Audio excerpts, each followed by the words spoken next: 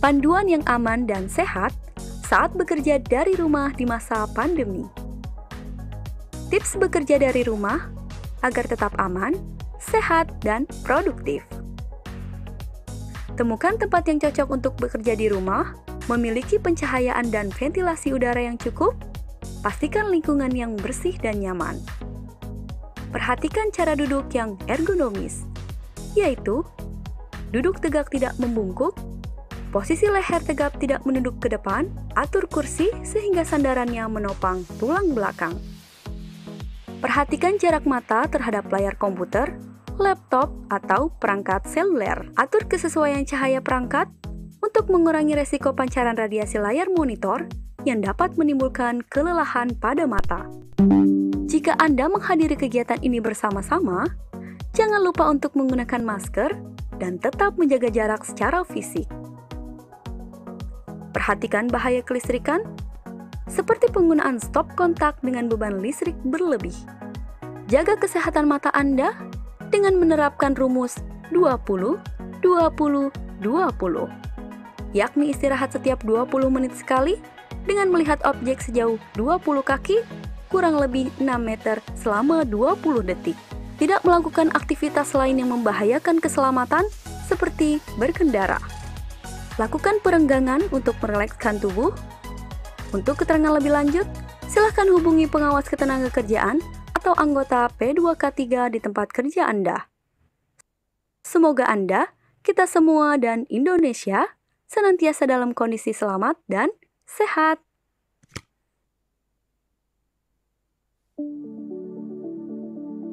Pandemi COVID-19 sudah berdampak pada 29 juta pekerja di Indonesia semakin banyak perusahaan dan bisnis terpaksa tutup yang tentunya berdampak pada tenaga kerja.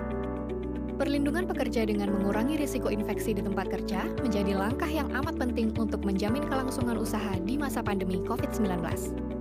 Sebagai organisasi PBB yang mempromosikan hak pekerja, mendorong terciptanya peluang kerja yang layak, serta mendukung perlindungan sosial, Organisasi Perburuhan Internasional atau ILO meluncurkan sebuah proyek bertajuk Meningkatkan Pencegahan COVID-19 di dan melalui tempat kerja.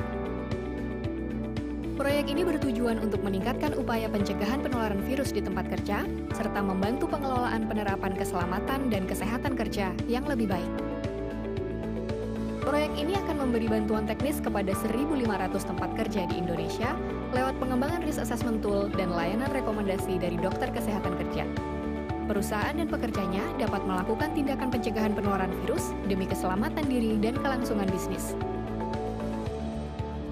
Dengan tujuan meningkatkan kesadaran dari setidaknya 10.000 pekerja tentang protokol kesehatan COVID-19 serta kepedulian akan K3, melalui proyek ini kapasitas pemangku kepentingan dalam menanggapi krisis saat ini dapat terbantu serta menjadi lebih awas dalam mengantisipasi tantangan K3 di masa depan.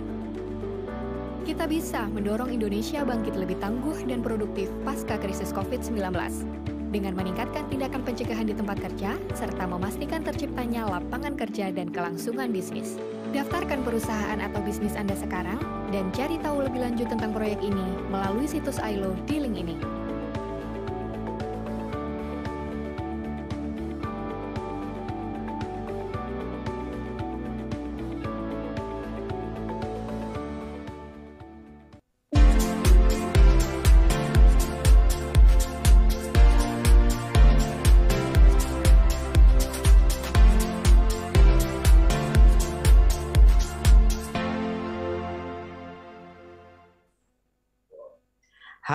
Halo, assalamualaikum warahmatullahi wabarakatuh. Shalom, om swastiastu, nama budaya, salam keberagaman, salam bineka tunggal ika. Selamat siang, teman-teman.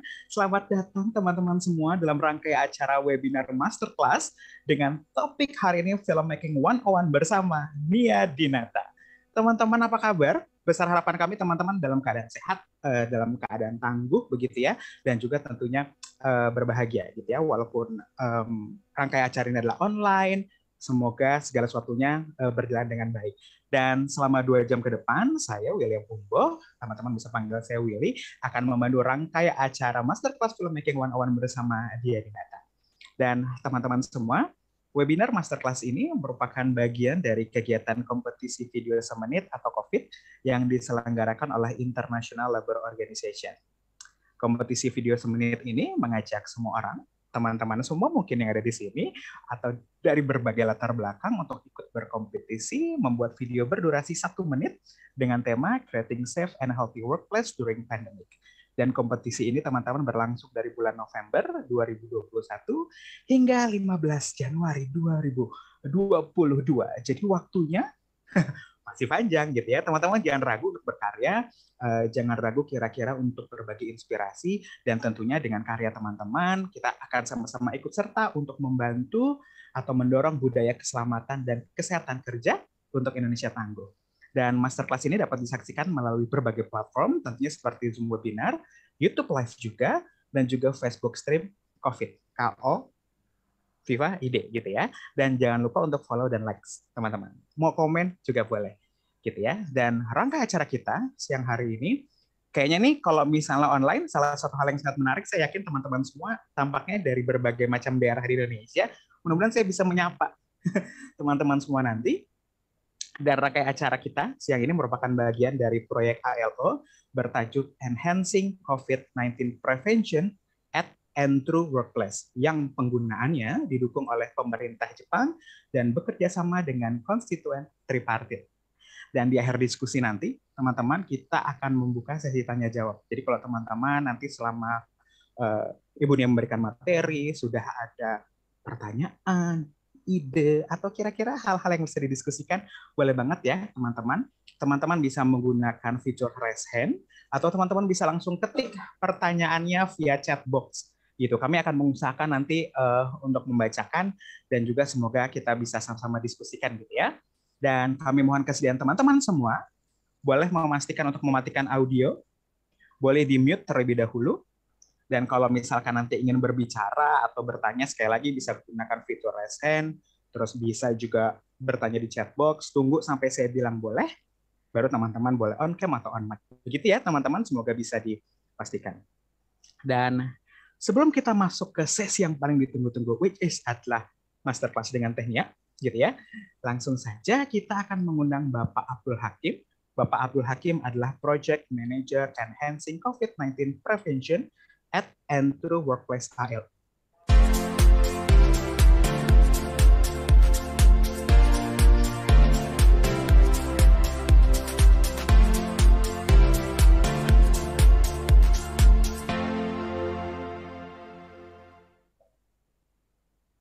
Selamat siang Bapak Abdul Hakim. Selamat siang Willy, selamat siang para pemirsa sekalian para hadirin yang ada di Filmmaking 101 with Nia Dinata. Terima kasih sudah hadir. Saya boleh cepat copot uh, masker nggak? Boleh silahkan. Ini salah satu boleh, ya? um, ini ya K3 ya Pak ya di dalam ya, ruangan tetap menggunakan masker begitu ya? Betul. Ini sebenarnya saya di luar ruangan tapi saya sengaja menggunakan masker. Saya sengaja menggunakan masker supaya lebih nyaman seperti itu. Lebih nyaman dan lebih aman begitu ya. Betul, lebih nyaman buat pribadi dan juga orang lain, dan lebih aman buat orang lain dan pribadi juga. Betul. Pak Abdul Hakim silakan jika ada hal yang ingin disampaikan terkait rangkaian acara kita hari ini. Monggo. Baik, uh, sebelumnya saya mengucapkan terima kasih buat Tehnia uh, yang sudah bersedia untuk uh, memberi masukan untuk menjadi narasumber dalam filmmaking 101 with Nia Dinata. Lalu juga buat Willy, serta teman-teman yang hadir lainnya di sini. Uh, hadir uh, pandemi ini pada dasarnya telah membawa perubahan terhadap dunia dengan berbagai tantangan yang tidak pernah terbayangkan sebelumnya. Upaya untuk menghambat penyebaran virus COVID-19 telah menghambat kegiatan perekonomian dan dampaknya sangat tinggi sangat berbahaya tidak hanya pada masalah satu masalah tapi juga pada banyak masalah termasuk juga masalah kesejahteraan sosial. Hal ini jelas mengakibatkan peningkatan kemiskinan, penurunan penurunan produktivitas, penurunan pertumbuhan ekonomi, dan juga kualitas sumber daya manusia dan meningkatnya jumlah orang yang menganggur. Kita tahu bahwa masih banyak sekali mayoritas eh, pekerja yang anggota dan anggota keluarganya mengandalkan pemasukan tunggal, memasukkan katakanlah satu sumber, dan itu sangat menjadi atau mereka menjadi korban dari COVID ini. Nah, bicara tentang ini, COVID juga mem, men, COVID juga memperhatikan betul bahwa ternyata tempat kerja pernah menjadi tempat atau klaster dari uh, dari penularan COVID-19. Karenanya ILO melihat bahwa melalui Project Enhancing COVID-19 Prevention Through and at Workplaces yang didukung oleh pemerintah Jepang, ini melihat bahwa pada dasarnya pencegahan COVID-19 bukan hanya hanya khusus untuk COVID, tapi juga harus dijadikan momen untuk peningkatan keselamatan dan kesehatan kerja. Karena mau nggak mau eh, ini akan menjadi atau akan membantu sebentar. Nah, ini dia. Ini akan membantu kita semua untuk bisa meningkatkan keselamatan dan kesehatan kerja, itu juga untuk bisa memperkuat eh, hal-hal uh, yang bisa meningkatkan produktivitas dari seluruh eh, kegiatan-kegiatan uh, ekonomi. Dalam konteks uh, filmmaking, satu hal penting yang membuat orang memiliki nilai lebih adalah tentang gagasan atau ide. Ini sesuatu yang tak ternilai. Dan ini ada di semua sektor pekerjaan dan kehidupan termasuk dalam filmmaking. Memiliki ide asli, unik, lagi menawarkan alternatif pada upaya pencegahan eh, COVID-19 melalui pesan-pesan yang dimunculkan dalam suatu video adalah hal yang sangat krusial. Sebab sekali lagi dalam isu dalam suasana disrupsi digital ini menjadi penting. Pesan yang pendek, efektif, tapi kuat itu menjadi sangat penting. Karenanya kami dari ILO menyelenggarakan suatu suatu kompetisi video semenit. Mengapa semenit? Nanti kita uh, dalami lagi dari uh, Teknia. Menurut hemat saya, kena kompetisi ini adalah untuk merangkul kaum muda dan penggiat film, termasuk juga video maker, untuk turut mendorong munculnya karakter Indonesia berbudaya keselamatan dan kesehatan kerja dalam menanggapi pandemi COVID-19 ini.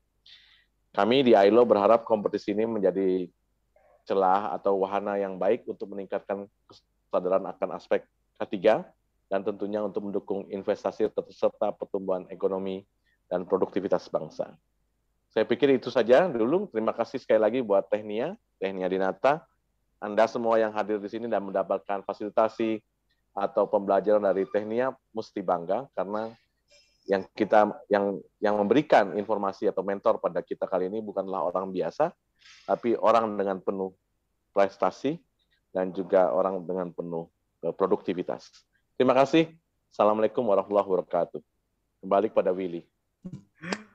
Waalaikumsalam warahmatullahi wabarakatuh. Terima kasih Bapak Abdul Hakim. Terima kasih banyak untuk pesan-pesannya. Menarik tadi kalau saya boleh rangkum sedikit begitu ya, bahwa kompetisi video semenit ini merupakan uh, proyek ILO untuk meningkatkan pencegahan COVID-19 di dan melalui tempat kerja dan betapa aspek keselamatan dan kesehatan kerja juga menjadi penting. Dan tadi Pak Abdul Hakim juga mengingatkan kembali terkait dengan bagaimana sebenarnya kita menyikapi pandemi ini itu juga sangat penting. Itulah kenapa um, kerja-kerja pencegahan itu juga tidak hanya dilakukan oleh satu pihak, gitu ya. Tanggung jawabnya ternyata oleh kita semua, gitu. Dan salah satu hal yang paling menarik tadi video semenit atau media seni atau media film ini bisa jadi salah satu tools yang efektif untuk mengingatkan uh, rekan-rekan terkait tadi pencegahan uh, eh, COVID-19 dan juga tentang keselamatan dan kesehatan kerja. Semoga hari ini teman-teman juga bisa banyak menerima manfaatnya.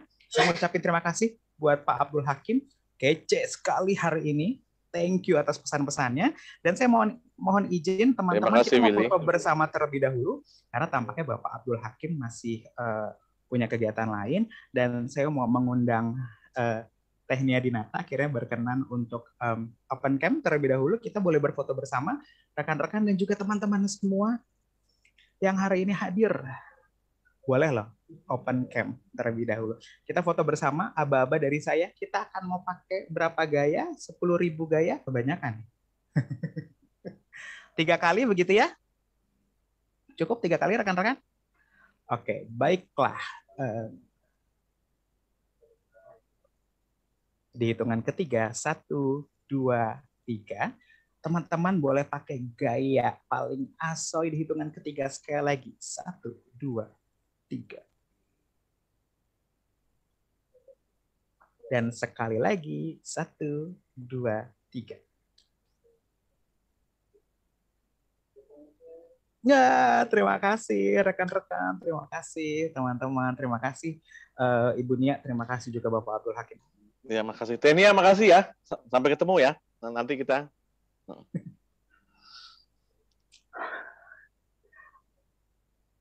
Oke, uh, teman-teman, uh, itu tadi sambutan pertama. Semoga bisa uh, apa namanya ya, uh, mengundang teman-teman membuka pikiran lagi. Kalau eh ternyata saya nih atau teman-teman semua itu juga bisa ikut andil dalam uh, meningkatkan pencegahan COVID-19 uh, di dan melalui tempat kerja juga terkait keselamatan dan kesehatan kerja. Apalagi teman-teman kita sudah bisa lihat beberapa um, aktivitas di kantor sudah banyak gitu teman-teman sudah menggunakan transportasi umum kembali teman-teman sudah mulai uh, WFO 100% bahkan maka rasanya kita punya tanggung jawab begitu ya untuk mengingatkan diri sendiri dan juga uh, mengingatkan orang lain untuk sama-sama menerapkan protokol kesehatan. Sekali lagi saya mengucapkan terima kasih kepada Bapak Abdul Hakim. Semoga upaya ILO untuk membangun kesadaran mencegah COVID-19 bisa menjangkau lebih banyak orang. Dan ini adalah tentunya uh, peran kita semua. Oke, dan sekarang aku mengajak teman-teman ke sesi inti dari webinar Masterclass Filmmaking 101 bersama Nia Dinata. Uh, dan sebelum saya akan membacakan profil Ibu Nia Dinata, ini sebenarnya saya butuh nggak sih ngebacain? Kayak teman-teman juga udah paham Ibu Nia Dinata ini siapa. Tapi saya akan tetap bacakan. Dan sebelum kita akan bacakan profil pembicara, kita sudah punya kompilasi trailer karya-karya Nia Dinata. Silakan.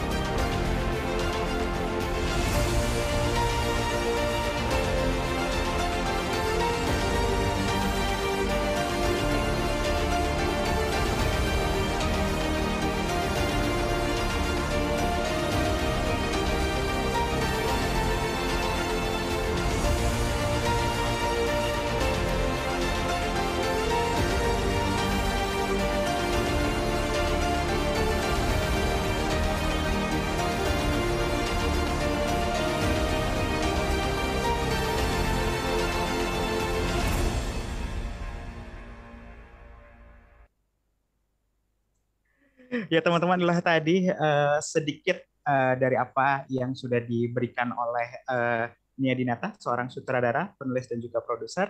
Beliau rampung studi film dan juga komunikasi di Amerika Serikat di tahun 1993 untuk kemudian terjun ke dunia film, iklan dan juga video musik Indonesia.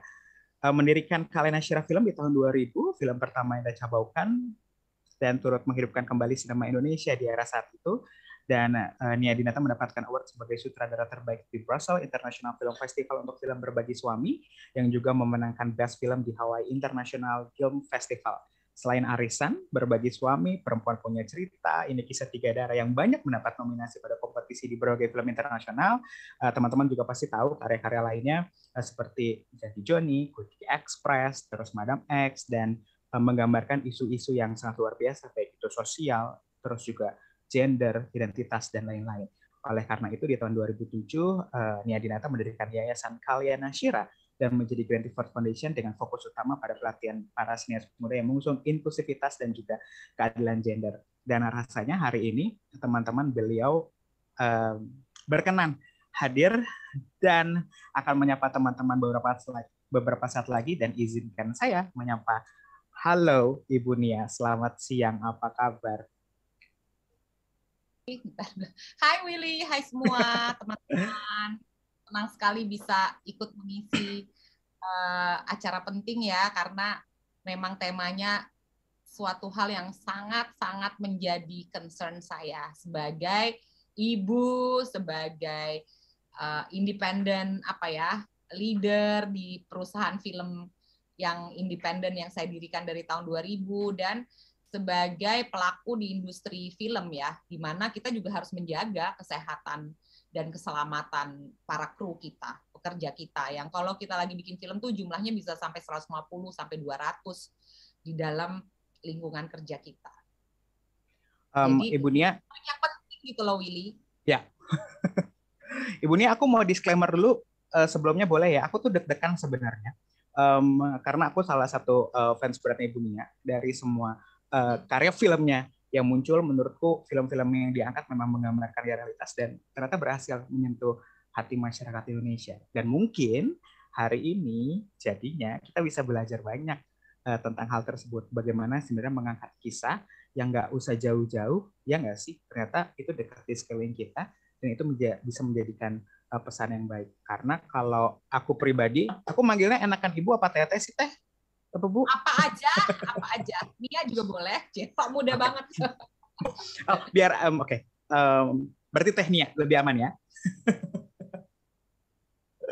oke, okay, um, teh um, tadi banyak sekali sebenarnya film-film yang mengangkat uh, apa isu-isu sosial begitu ya dan itu tidak tidak tidak serta merta datang gitu aja tapi memang itu adalah realita yang harus diangkat mengangkat harisan um, teman-teman um, isu LGBT katakanlah gitu ya isu sosial gitu isu-isu uh, di tem- berbagi suami misalnya dan lainnya itu adalah isu-isu yang sebenarnya ada dan dekat gitu. Dan uh, tampaknya um, ini menjadi trademarknya uh, Tehnia untuk konsisten gitu menyampaikan pesan-pesan realita yang ada di masyarakat. Dan semoga materi hari ini nggak jauh-jauh dari bagaimana sebenarnya. Kalau Tehnia bikin filmnya panjang ini kompetisinya cuma ah satu menit bisa nggak sih dalam waktu satu menit ini jadi salah satu sarana efektif yang bisa menyentuh rasa uh, kita semua karena saya yakin sebenarnya kalau ngomongin soal kesenian itu pasti berbicara soal rasa nah um, untuk lebih lanjut daripada dengerin saya ngomong, kadang juga nggak tahu ini isinya apa.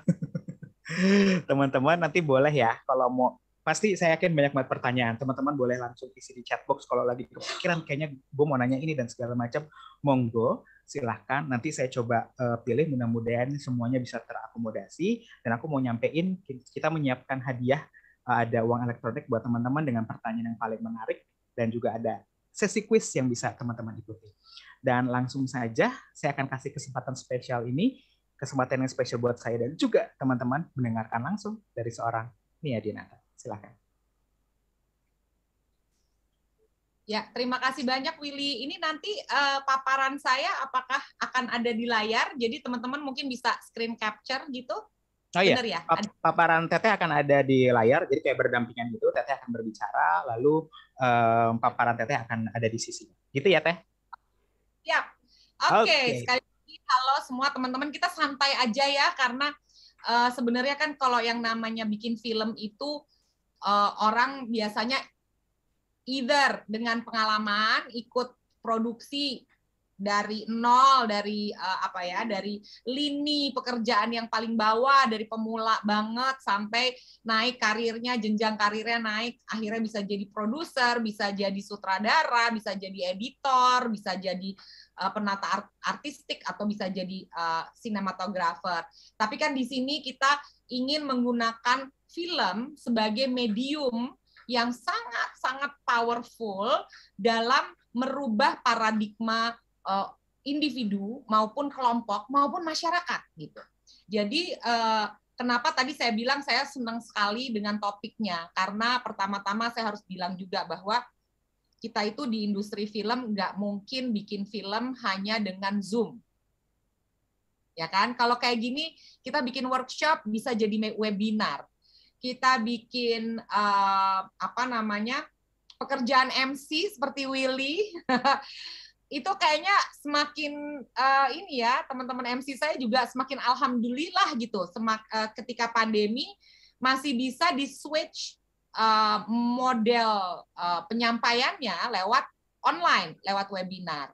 Walaupun pastikan adalah uh, sedikit apa namanya adjustment adjustment dari budget pasti ya Willy karena kan nggak harus pergi ke mana-mana gitu jadi mungkin teman-teman di sini juga semuanya bisa lihat ada industri-industri beberapa yang masih bisa berjalan secara online. Tapi juga teman-teman mungkin sebagai uh, individu-individu dari berbagai lini pekerjaan yang ada di dunia ini, banyaklah pasti yang terimbas. Dan salah satu yang paling besar terimbas adalah industri film. Karena apa? Oke, ada satu film yang viral yang benar-benar uh, apa? Hmm, sampai kayaknya itu sampai ada di Apple TV atau salah satu OTT lah ya, karena dia membuatnya horor dan dibikinnya dari Zoom. Ya. Tapi apakah semua film akan bercerita horor dan dibuat lewat Zoom?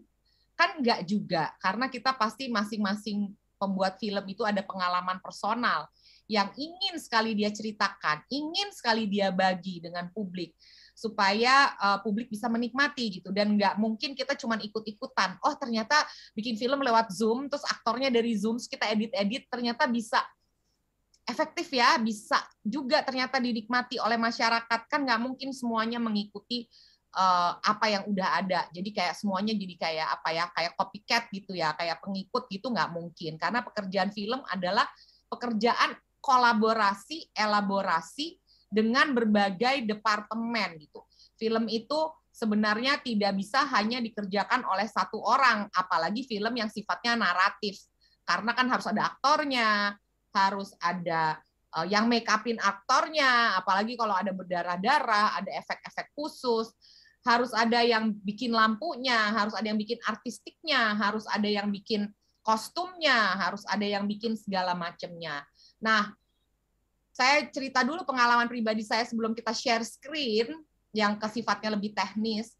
Di masa pandemi itu, di tahun 2020 bulan Maret, itu kasus pertama itu terjadinya di depan kantor saya, di sebuah restoran yang waktu itu diduga dan sudah dikonfirmasi memang kasus pertamanya ada di situ karena uh, terjadi apa sebuah apa ya acara di situ gitu ya.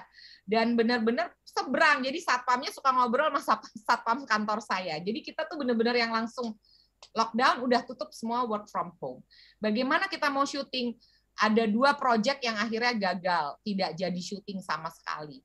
Tetapi di akhir tahun 2020 kemarin ternyata hmm, saya benar-benar harus syuting karena tanggal tayang dari film yang saya kemarin tadi ada di klipnya A World Without itu memang harus tayang di Oktober 2021. Sementara itu memang kita udah persiapannya udah dari sebelum Covid skripnya semua ya.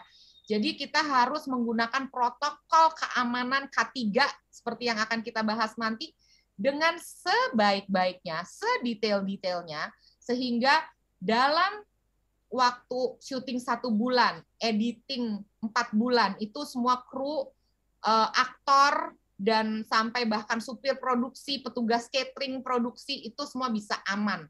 Dan kita bisa tidak saling menularkan, kita bisa sehat terus. Dan itu memang pekerjaan yang bukan bukan simple ya.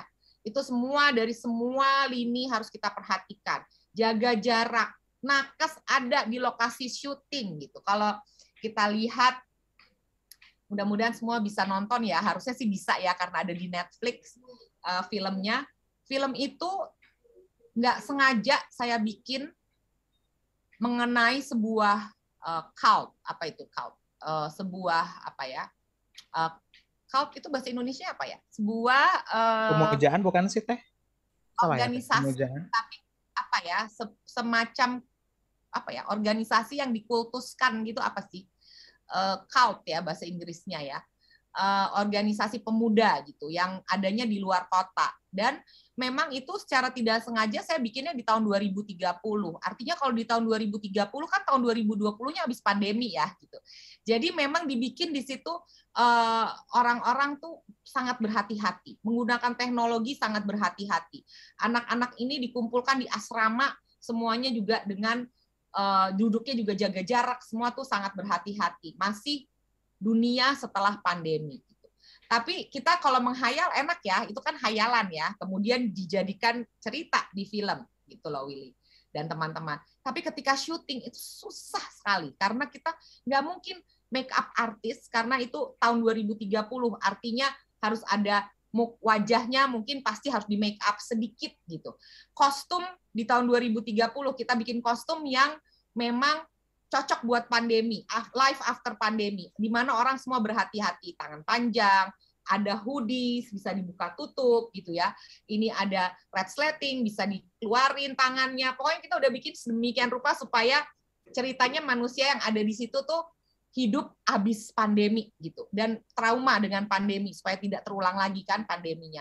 Jadi itu me, me, mengejawantahkan, menerjemahkan itu tuh complicated sekali dan bagaimana cara menyiapkan semua tempat uh, supaya aman itu mahal. Artinya kita harus rela mengeluarkan biaya. Artinya di sini semua nih Rinaldi, Widya, Ah dan siapa lagi Izul, Yuniarti, semua yang ada di sini ya kelihatan aja di layar aku. Ini semua harus berkaca di tempat pekerja, di tempat gue kerja. Apakah pemilik perusahaannya mau nggak mengorbankan uh, apa ya uh, sedikit dari tabungan perusahaannya untuk keselamatan kerja pegawainya kan itu harus dipikirkan atau adakah bantuan pemerintah untuk menyelamatkan lini-lini pekerjaan penting ini yang nggak bisa dilakukan secara online kan harusnya gitu ya kita sebagai uh, warga negara yang kritis kan harusnya udah mulai bisa berpikir gimana caranya nih gitu untuk melakukan itu dan alhamdulillah kalau aku berbagi pengalaman kita berhasil syuting di bulan Februari dan Maret 2021. Alhamdulillah 150 kru, alhamdulillah aman. Tidak ada penularan COVID selama kita syuting di Jakarta dan Bandung waktu film A World Without yang ada di Netflix. Itu tidak tertular. Karena apa? Karena kita melakukan testing setiap empat hari sekali di set. Kita melakukan ukur ukur ini uh, apa temperatur itu ukur karena nakes ada di set dan nakes keliling setiap empat jam sekali. Setiap empat jam sekali nakes keliling harus tukar masker.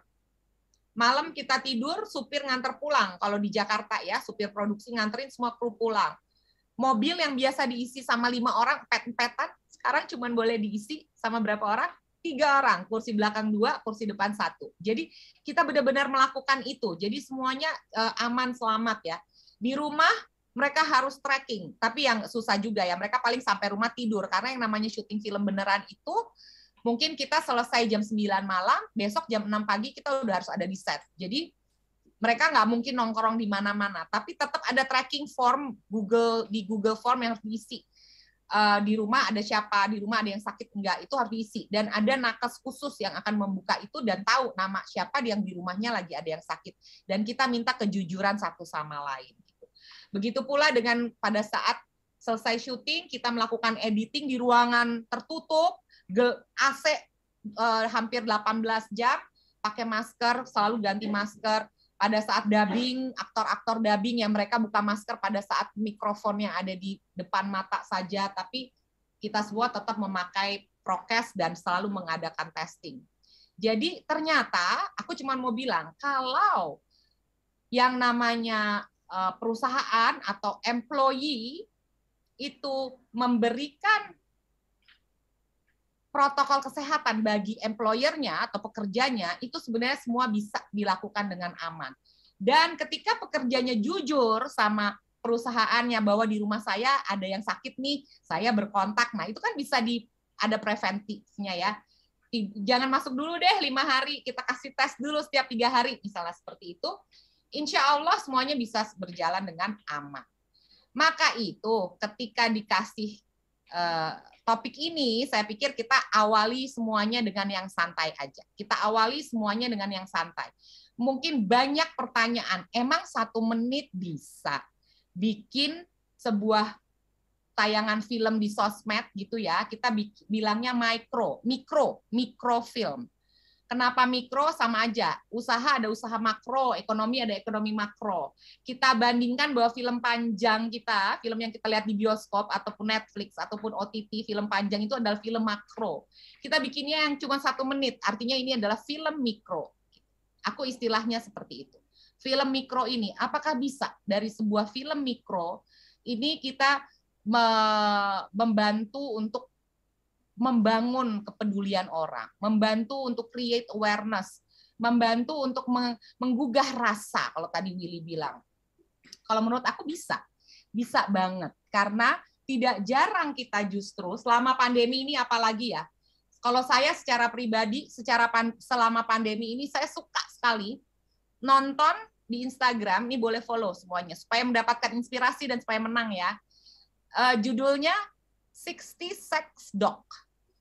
60 S E C S D O C S 60 Seconds Documentary. Itu channel udah lama di Instagram. Dan yang bikin orang-orang biasa semua, amatiran.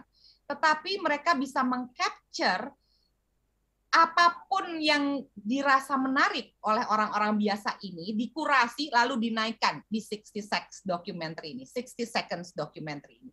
Dan buat saya ya, yang terakhir saya nonton adalah nanti kita pasang ya setelah presentasi saya tentang walker ya. Apa itu walker? Ini nggak ada hubungannya sama COVID, tapi tentang katakanlah namanya Iwan, tapi dia di Amerika. Iwan ini adalah seorang walker W-A-L-K-E-R. Apa artinya walker? Pejalan. Pejalan buat apa? Ternyata dia hidupnya, nafkahnya dari berjalan. Nemenin orang yang mau olahraga, jalan kaki sambil ngobrol. Baik itu orang tua, orang dari rumah jompo, orang yang baru cerai, orang yang hidupnya sendiri nggak apa di Amerika begitulah individu ya jauh dari keluarga. Jadi ke, ke kayak ke GBK-nya atau hanya di daerah kompleks rumahnya dia datang pencet bel ting tong oke okay, let's walk ayo kita jalan bersama. Dan itu direkam dalam 60 second documentary 60 detik ini oleh si pembuatnya ini adalah Iwan. Dia kerjanya begini. Tiap hari jalan. Selama dia lagi jalan, dia ngomong, ngobrol. Karena orang yang jalan ini perlu teman ngobrol. Ternyata setelah jalan satu jam sama Iwan, Iwan dibayar misalnya 20 dolar. Dia merasa senang kliennya karena gue jalan jadi nggak kerasa satu jamnya. Gue bisa sehat, gue bisa punya teman ngobrol kayak gitu gitu. Padahal mereka nggak kenal satu sama lain. Jadi Iwan ini adalah seorang walker profesional. Maaf ya, aku pakai namanya Iwan. Nanti kalau nonton namanya bukan Iwan. Tapi aku cuma mau memberi contoh ke teman-teman bahwa kita tuh bisa bikin film dokumenter apa aja yang bisa menggugah. Kalau buat saya, saya tergugah banget. Saya merasa bahwa wah seru banget ya gitu. Mungkin kalau misalnya kita yang di Indonesia ini memang kita punya teman, kita tinggal telepon yuk jalan pagi yuk gitu atau kita banyak saudara. Tapi kalau tinggal di negara barat itu sangat individualistis orang-orangnya. Jadi ternyata teman seperti itu penting dan perlu gitu ya. Udah dianterin lagi sampai rumah nggak even nggak masuk ke rumah. Oke, baik terima kasih sekian servis saya gitu. Jadi saya langsung terbuka pikiran saya bahwa oh orang tuh kalau mau berikhtiar dan mau bekerja secara halal apa aja tuh sebenarnya bisa ada gitu ya.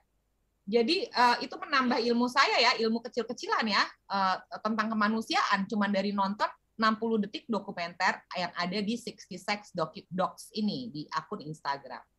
Jadi saya pikir bisa sekali teman-teman semua bisa merubah paradigma, bisa menggugah hati penontonnya dengan membuat tayangan dari HP aja.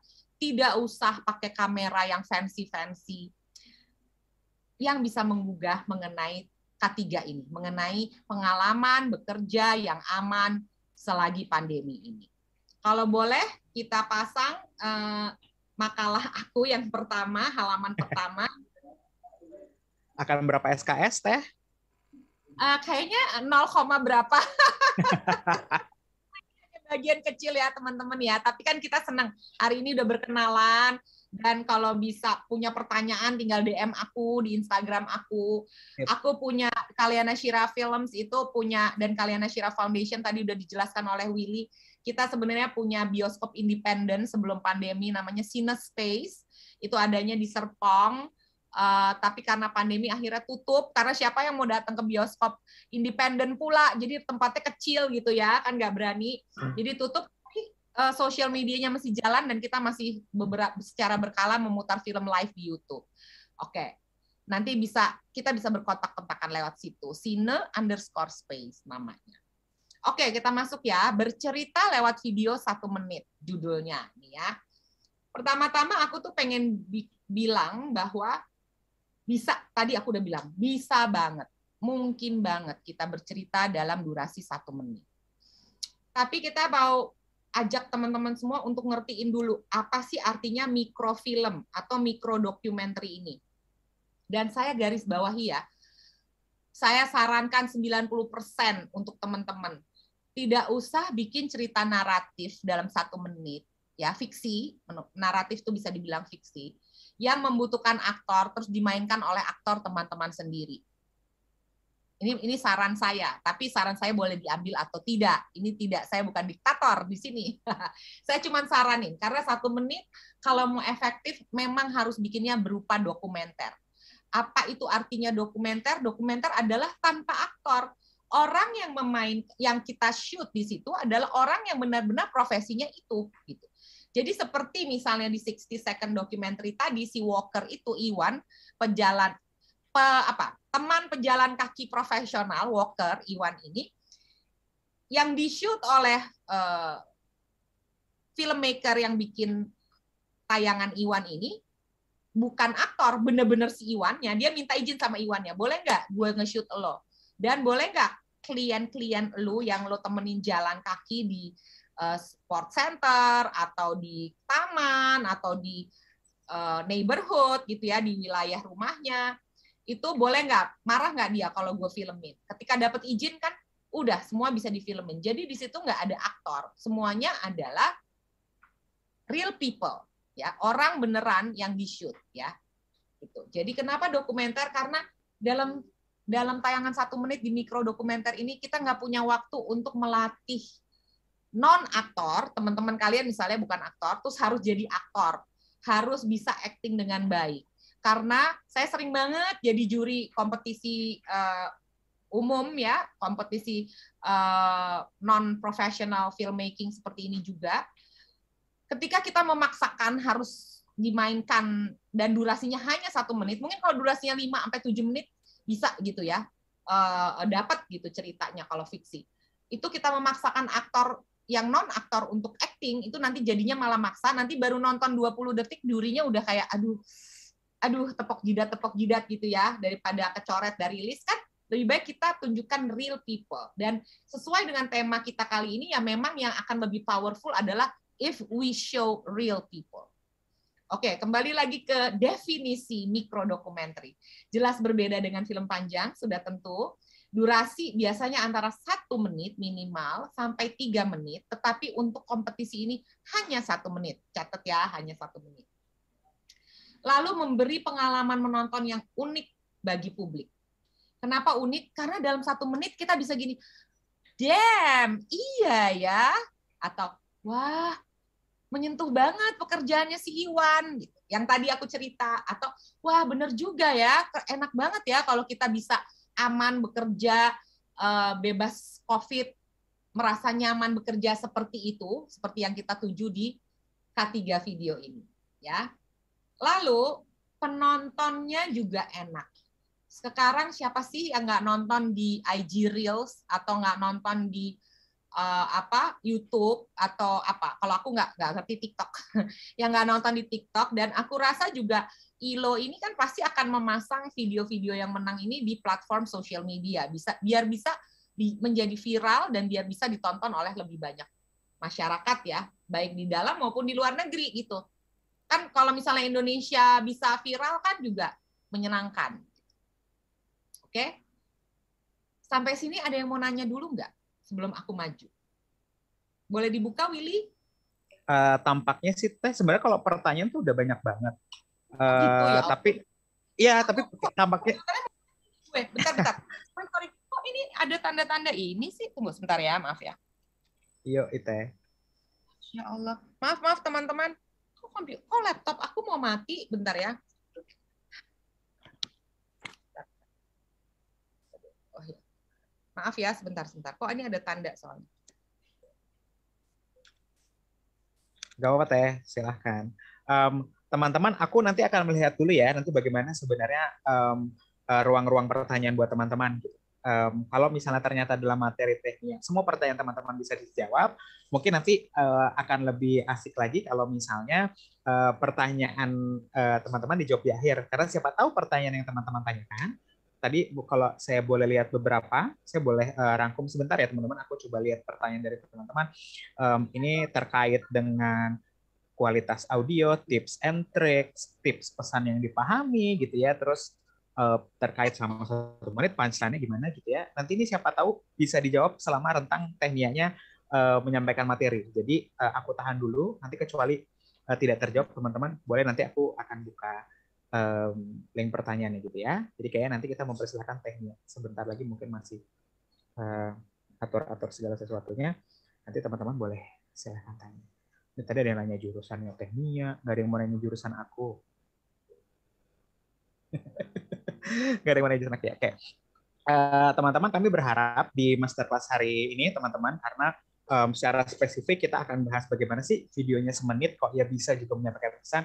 Tadi tehnya udah sempat nyampein tuh ada beberapa contoh yang teman-teman bisa uh, lihat yaitu uh, 60 sex doc gitu ya 60 uh, sex seconds uh, documentary gitu. Teman-teman bisa cek gitu ya dan teman-teman bisa ngeliat atau mencari inspirasi dari situ. Yang pertama. Alhamdulillah. Udah udah. Sudah okay. kecat maaf ya. Namanya juga ibu-ibu ini agak gaptek saya nih. Oke. Okay. nggak aku tadi maksudnya gini sebelum aku lebih jauh udah mm -hmm. ngerti nggak? Nggak? Di luar pertanyaan tentang aku tentang okay. karir filmmaking segala macam itu boleh tetap ditanyain nanti.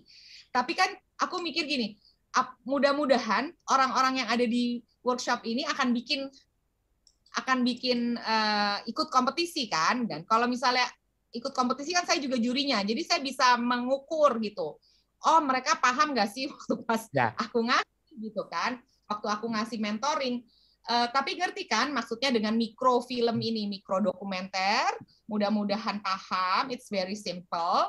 Dan ngerti kan saran aku bahwa sebaiknya tidak tidak bikin yang fiksi atau naratif yeah. ya.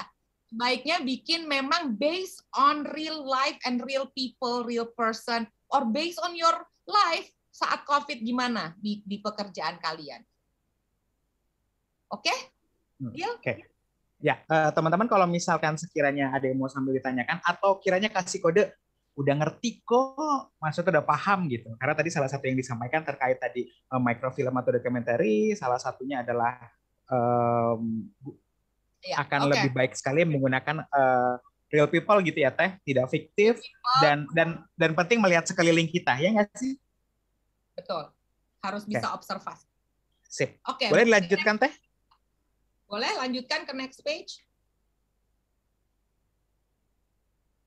Nah, ketika udah kita udah paham bahwa uh, mikrofilm atau mikrodokumenter kali ini itu uh, kita kuncinya apa sih kuncian untuk bikin mikrofilm? Gitu. Kunciannya harus punya suara yang otentik. You have to have authenticity. Misalnya, aku nggak tahu ya, Willy aja deh yang aku jadiin contoh.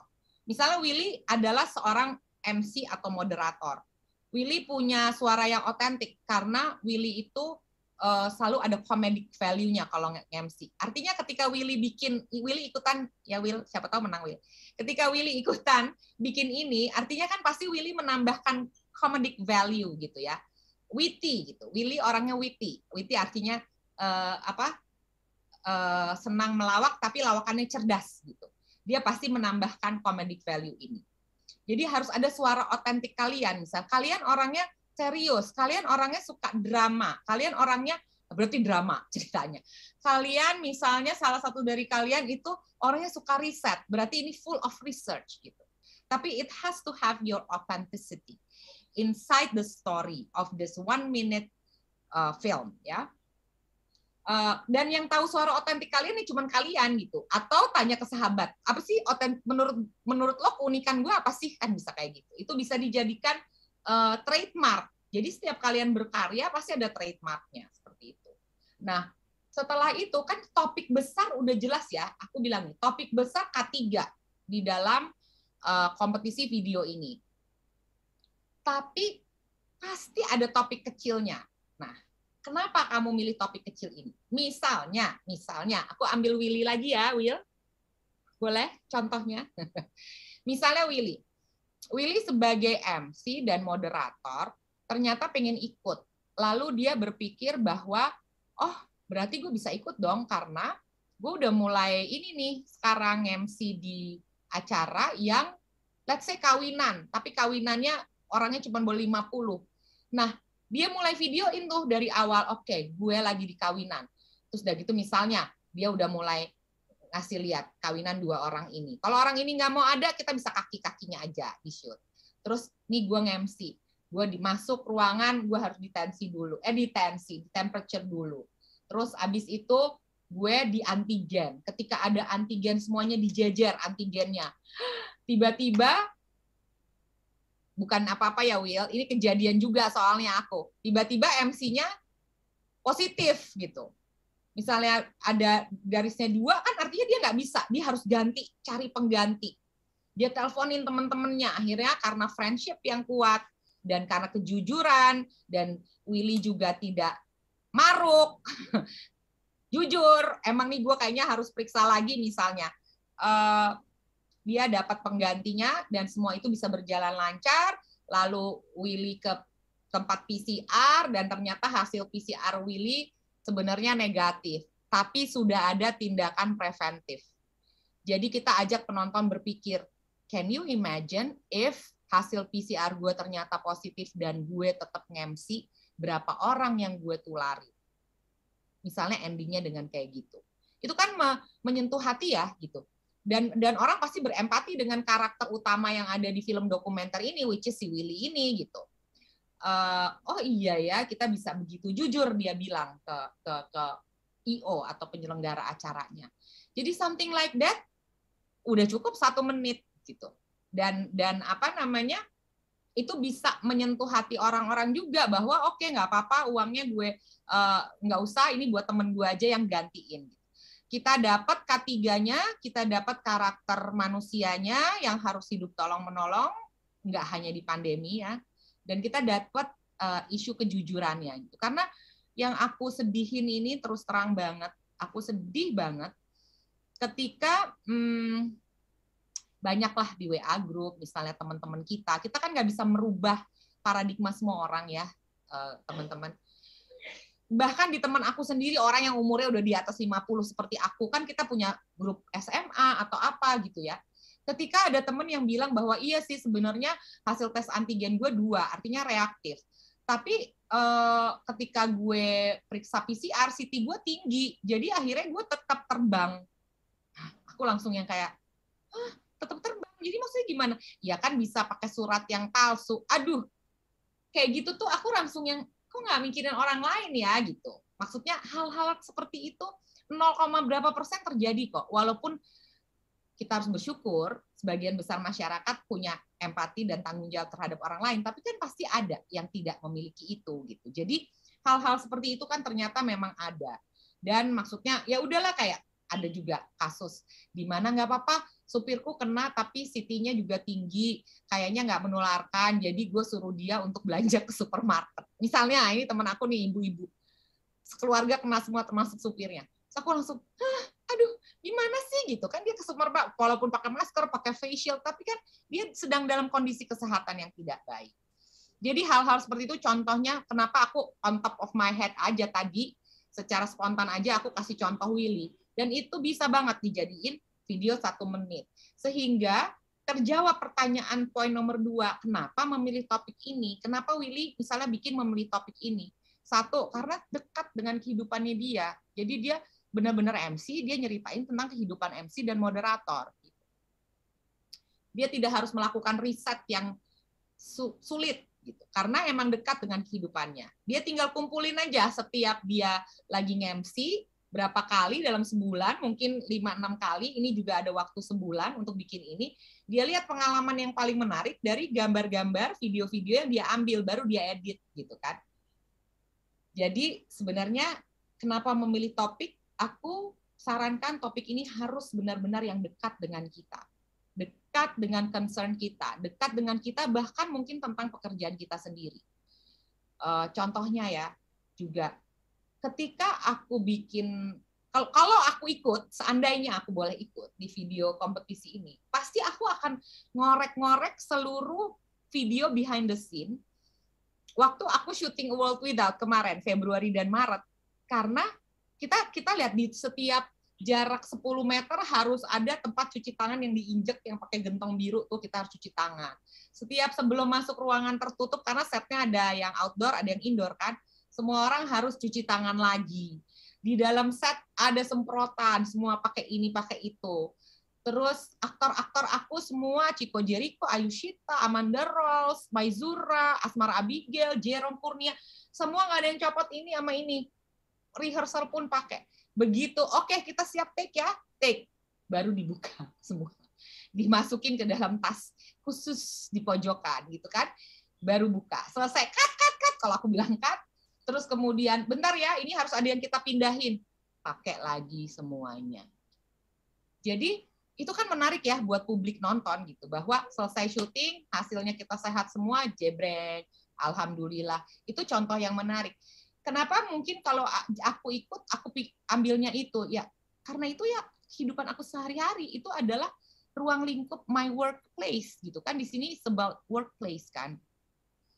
Lalu kita ke poin berikutnya jujurlah dengan motivasi Anda. Nah, motivasinya apa? Oke, motivasinya mau ikut kompetisi video ini. Tapi kita nggak usah mikirin menangnya dulu. Tapi kita jujur pada diri sendiri bahwa ini gue pengen banget berbagi cerita ini karena menurut gue lingkungan kerja gue unik gitu. Lingkungan kerja gue unik. Nah, bagaimana dengan orang yang ya aku kerja di agency, aku kerja di kantor aktivis NGO ya gitu-gitu aja. Then you have to ask yourself, apa yang menjadi ketertarikanmu di luar lingkungan kerjamu misalnya udah banyak yang bikin segala macam segala macam apakah ketika kamu lagi dikirim kerja keluar kota misalnya atau misalnya as um, pegawai di NGO atau as a, a art atau advertising agency uh, uh, apa manager atau junior manager kalian merasa bahwa ya kalau dari kantor begini begini begini biasa-biasa aja di kantor gue. Tapi mungkinkah kamu semuanya suka ngopi dong pasti suka beli kopi dulu baru ke kantor. Nah pernah nggak Dita ada pertanyaan di diri kalian. Ini si barista-barista ini safety-nya gimana ya? Gitu. Itu kan it's another topic di luar kehidupan kamu, tetapi tidak jauh dari kehidupan kamu. Ngerti nggak maksud aku? Mudah-mudahan ngerti ya. Sehingga kita jujur dengan motivasi kita, kita jujur dengan topik yang kita mau ambil, dan uh, tetap ada suara otentik kita. Gitu. Uh, atau misalnya, oke, okay, uh, eh, aku setiap hari naik gokar atau naik grab car gitu. Nah, boleh nggak ya gue ambil aja safety protokolnya si grab car ini gitu. Pak, aku ikutin ya Pak, dua hari aja atau seharian aja. Eh, Bapak gimana safety protokolnya? Apakah Bapak ganti masker? Terus orang yang naik gimana? Bapak perhatikan nggak dia pakai masker apa enggak?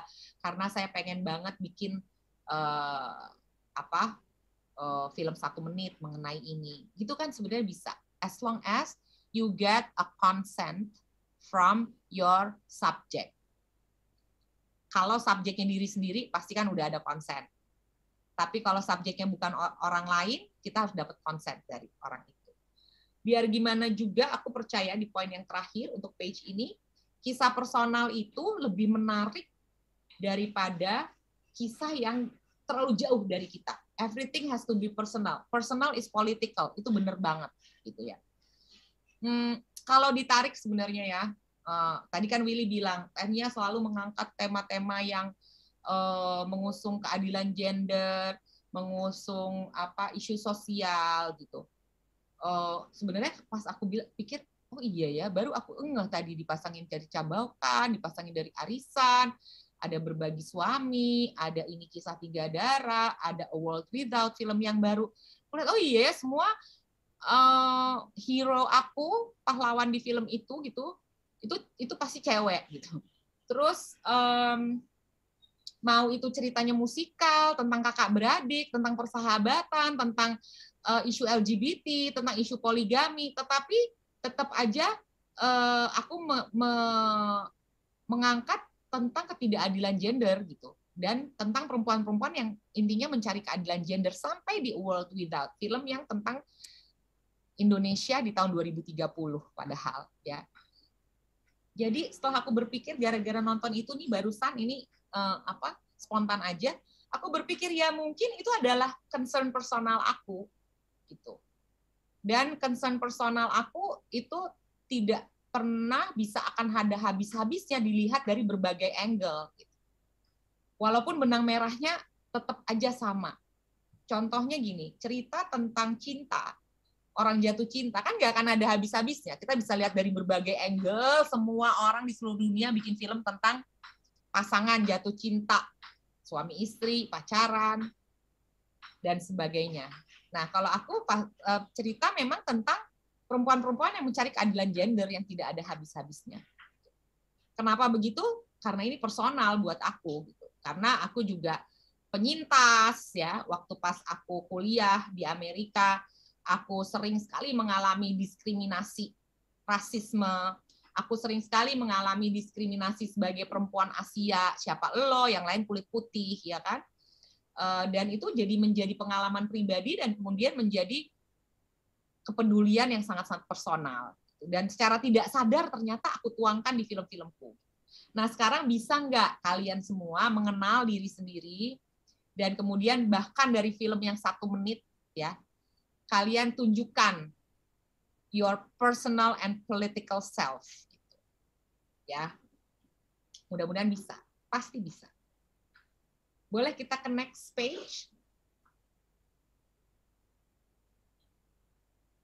Oke. Okay. Sekarang aku benar-benar lebih spesifik lagi nih ke opsi ya.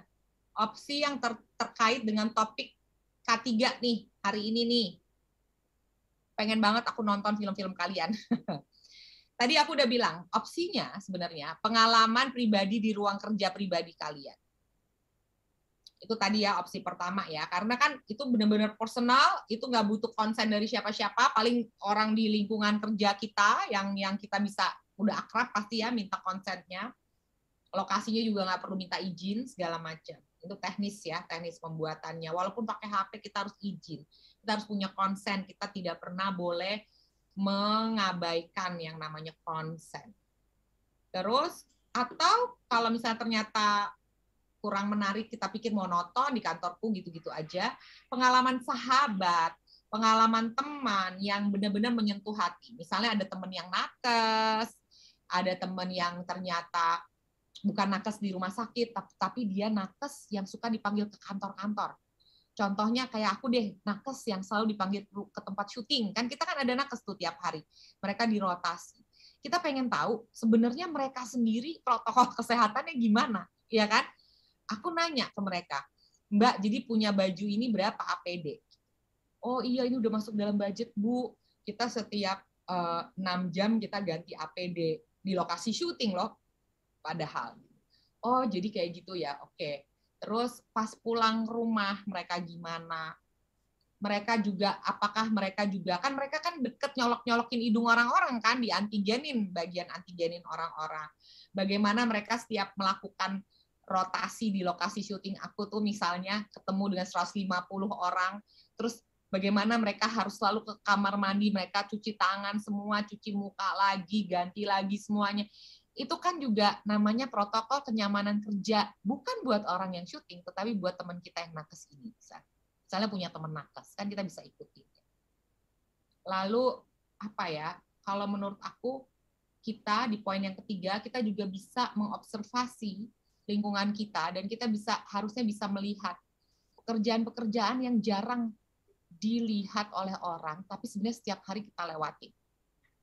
Misalnya kayak tadi atau setiap hari kita gunakan Gojek, GrabCar atau apa transportasi yang kita gunakan, uh, petugas di MRT station misalnya yang ini tiket dia itu segala macam kan kita sebenarnya bisa nanya ke mereka. Itu adalah adalah orang-orang personal yang kita hidup di urban, tempat urban seperti ini yang bersentuhan dengan kita secara tidak sengaja tetapi mungkin mereka menyimpan cerita-cerita yang unik mengenai uh, bagaimana hidup mereka mempertahankan kesehatannya di masa pandemi ini. Jadi it's it's an opportunity. Aku nggak tahu di sini yang ikut apakah semuanya dari Jakarta, apa ada dari daerah. Kalaupun misalnya ada dari daerah, misalnya uh, bekerja di pabrik, misalnya bekerja di konveksi, itu kan sendiri kan wah itu materi yang luar biasa untuk melihat bagaimana teman-teman atau kalian yang bekerja di situ dari mulai masuk apakah pakai masker, apakah pakai tutup kepala, apakah pakai apa sampai pulang ke rumah, sampai rumah beneran nggak tuh bajunya kita cuci, kita nggak ulang pakai, kita mandi, kita cuci kaki, cuci dari ujung kaki sampai ujung kepala sampai ujung kaki gitu. Uh, baru kita memeluk anak-anak kesayangan kita atau memeluk orang tua kita. Itu kan menyentuh hati ya. Uh, apa sesuatu personal yang kita lakukan untuk kebersihan diri kita sendiri, tetapi sebenarnya berdampak bagi orang yang kita sayangin di rumah, misalnya. Jadi eh, aku nih cuman cuman ini ya throwing out ideas, tapi sebenarnya halaman ini paling penting sih untuk uh, apa namanya materi ya materi yang akan kalian um, gunakan, akan kalian eksplorasi buat si film satu menit ini atau aku jadi pikiran sebuah event, acara event itu juga bisa kalian observasi. Misalnya, wah sekarang eh, Jakarta udah level 2 PPKM-nya. Sehingga um, apa namanya udah boleh kemarin ada konser musik tapi dari mobil. Ada yang dengar nggak? Aku sih nggak pergi ya. Jadi atau ada ini rumah hantu di Kelapa Gading yang di parkiran basement. Jadi mobilnya datang ke bawah terus ngeliatin ada hantu-hantu segala macam. Apa pun juga event yang kalian hadiri di masa pandemi ini, itu juga bisa menjadi subjek atau menjadi bahan untuk film satu menit kalian.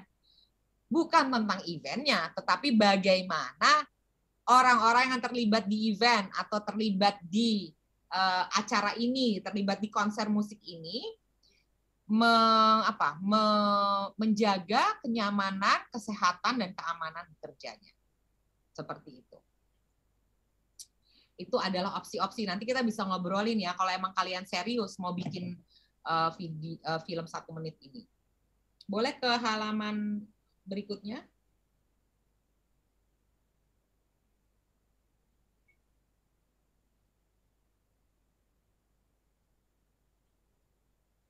Nah, setelah yang tadi-tadi itu, kita harus yakin dong sama diri kita bahwa oke, okay, this is the best story yang gue mau angkat. Gitu ya. Setelah yakin dengan pilihan Anda, sebelum mengambil gambar nih, sebelum ngerekam ngabis-ngabisin data di HP atau segala macam, riset dulu gitu. Apa sih contohnya riset untuk sebuah film satu menit? Contohnya riset adalah ketika kita pengalaman itu pengalaman pribadi kita, mulailah kita catat seperti kita membuat diary atau jurnal, jurnal harian. Hari ini gue gini, di kantor ada ini, ketika meeting ini eh, apa tiba-tiba ada yang maskernya turun, terus diingetin sama temennya, maskernya naik lagi. Misalnya something like that, anything that you do dari bangun tidur sampai pulang lagi ke rumah dan mau tidur lagi. Jadi karena itu sebuah jurnal, menjadi bahan riset kamu. Jadi sebelum kamu rekam, kamu udah tahu tuh polanya atau patternnya apa aja sih yang terjadi di kehidupan gue. Karena kamu mau bikin tentang diri kamu sendiri misalnya. Tapi kalau tentang orang lain, observasilah misalnya kamu mau bikin tentang si barista di tempat kopi yang kamu selalu mampir sebelum ke kantor atau setiap pulang kantor atau setiap waktu makan siang. Ya udah tiap hari liatin dia, oh dia kayak gini, dia kayak gitu. Mulai ajak ngobrol boleh nggak sih? Aku tuh lagi ada mau ikut kompetisi video gini gini gini ajak ngobrol. Kamu jaga ininya gimana? Protokolnya berapa kali sih ganti masker? Berapa kali ganti sarung tangan? Segala macem kan kayak gitu-gitu. Boleh nggak interview? Gitu kan. Kita menggunakan etika ya untuk observasi dan riset sebenarnya. Setelah itu kita baca sendiri kan. Oh jadi ini dalam satu hari ini begini. Kita baca hasil tulisan dan observasi kita Baru kita atur poin nomor dua, susun struktur bercerita. Struktur bercerita itu tidak harus linear kan? Kita semua tahu ya. Jadi nggak nggak harus dari pagi gue bangun begini. Boleh kayak gitu sampai malamnya lagi. Tapi kan nggak harus linear. Kita bisa jump, jumping jumping uh, apa ceritanya bisa dari belakang duluan baru oh gue tuh begini karena kemarin ternyata begini. Misalnya apa? Misalnya tadi yang ceritanya Willy, misalnya, oh gue tuh ternyata hasil PCR gue negatif, ye gitu. Dimulai dari situ. Tapi gue merasa bersyukur gue PCR dan gue nggak nge-MC kemarin karena berak-berak mundur cerita gitu loh. Bisa ya. Jadi kita kita brainstorm nih di sini kita saling saling uh, aku throwing out ideas, nanti kamu catat semua, tapi cerita itu tidak harus linear. Kalian sus susun dulu struktur berceritanya setelah susun struktur bercerita, mulai susun tim kecil. Tim kecil tuh maksud aku apa? Walaupun misalnya syutingnya dengan kamera kecil kamu yang suka pakai buat foto atau dari handphone canggih kamu, tetap aja kita perlu mungkin teman satu yang nemenin kita. Apalagi kalau ceritanya bukan cerita tentang kita pribadi. Artinya, ketika dia lagi ketika kamu lagi ambil gambar, kan mungkin teman kamu bisa kayak sebelah sini sebelah sini. Misalnya si barista atau apa. Terus atau misalnya bisa uh, bantuin kamu ngingetin gitu. Oke abis ini nih bawa catatannya. Abis ini lo ngambil yang ini. Temen diskusi juga. Biasanya itu diperluin minimal dua orang. Kalau kamu pakai kamera yang lebih profesional artinya kita harus memikirkan oh suaranya ya. Gimana ya suaranya? Ini penting banget nih. Misalnya mau ngikutin supir grab kan dia berarti harus ngobrol sambil dia nyetir. Suaranya jelek banget di luar banyak suara klakson segala macam artinya kan kamu harus punya clip on mic. Sekarang ada khusus buat HP yang ditempelin. Mungkin teman kamu bisa pegangin itu. Atau misalnya zoom mic yang kalau kamu mau pakai DSLR atau apa eh, kamera foto slash video itu bisa ditaruh di dashboardnya atau apa. Kan kamu perlulah partner atau teman untuk saling uh, membantu pekerjaan dalam pengambilan gambar ini. Karena biar gimana suara itu penting ya. Ketika suaranya kualitasnya juga buruk, kita juga jadi nggak ngerti jalan ceritanya. Lalu setelah susun tim kecil, pastikan karakter, tempat, event, mobil, apa pun yang kamu mau ikuti itu sudah memberikan konsen. Aku ulangi sekali lagi karena konsen ini sangat penting. Kalau kamu mau kalau kita di yang profesional ya di production perusahaan film, biasanya kita punya formulir konsen. Jadi ketika kita datang ke tempatnya, kita udah ajak ngobrol, Bu, besok saya bawa ya formulir konsennya. Formulir konsen itu saya yang bernama ini setuju untuk masuk di film satu menit saudari ini yang akan dipakai uh, khusus untuk kompetisi video ini. Yang membuat, yang menyetujui dia, tanda tangan, nomor KTP, gitu loh. Itu kayak gitu-gitu tuh penting banget supaya ILO-nya juga nggak dituntut, ya. Tapi kalau misalnya uh, ribet dengan kertas-kertas dan segala macam, sebenarnya Bu, boleh nggak ngomong konsennya saya rekam di video aja, gitu. Pak, boleh nggak? Artinya kan di video di luar di luar video yang kamu edit satu menit ini dia bisa ngomong saya bernama ini setuju mau menolong uh, Mbak Yuniarti Nukti untuk proyek ini ini ini. Artinya kamu udah punya bukti konsen. Ngerti ya? Oke. Boleh ke halaman yang berikutnya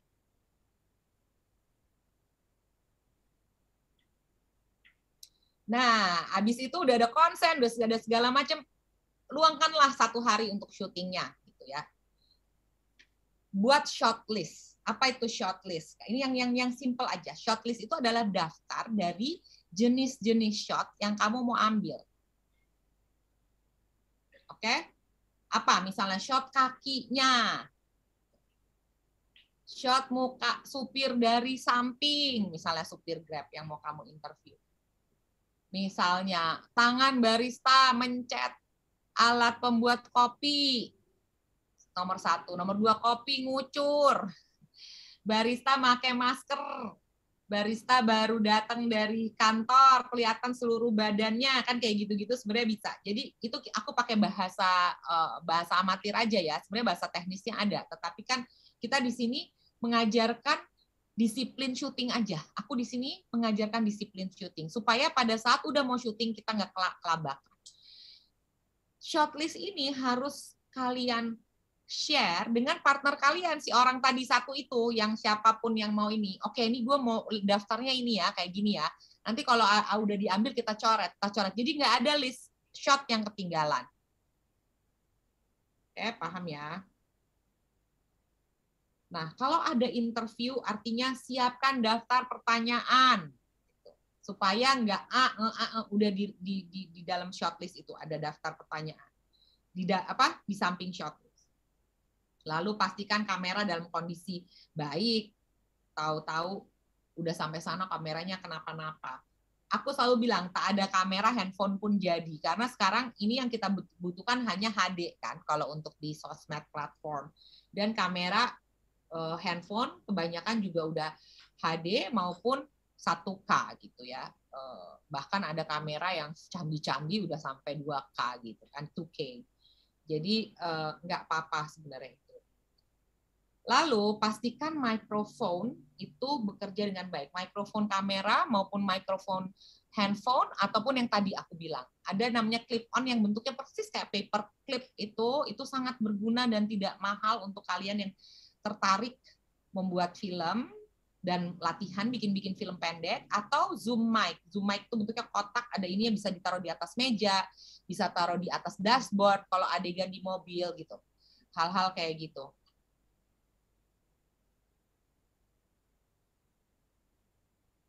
siapkan mikrofon khusus untuk merekam suara. Ya, kalau misalnya budgetnya lebih lebih ada lagi, kita bisa tempel mikrofon di atas kamera itu itu agak lebih mahal.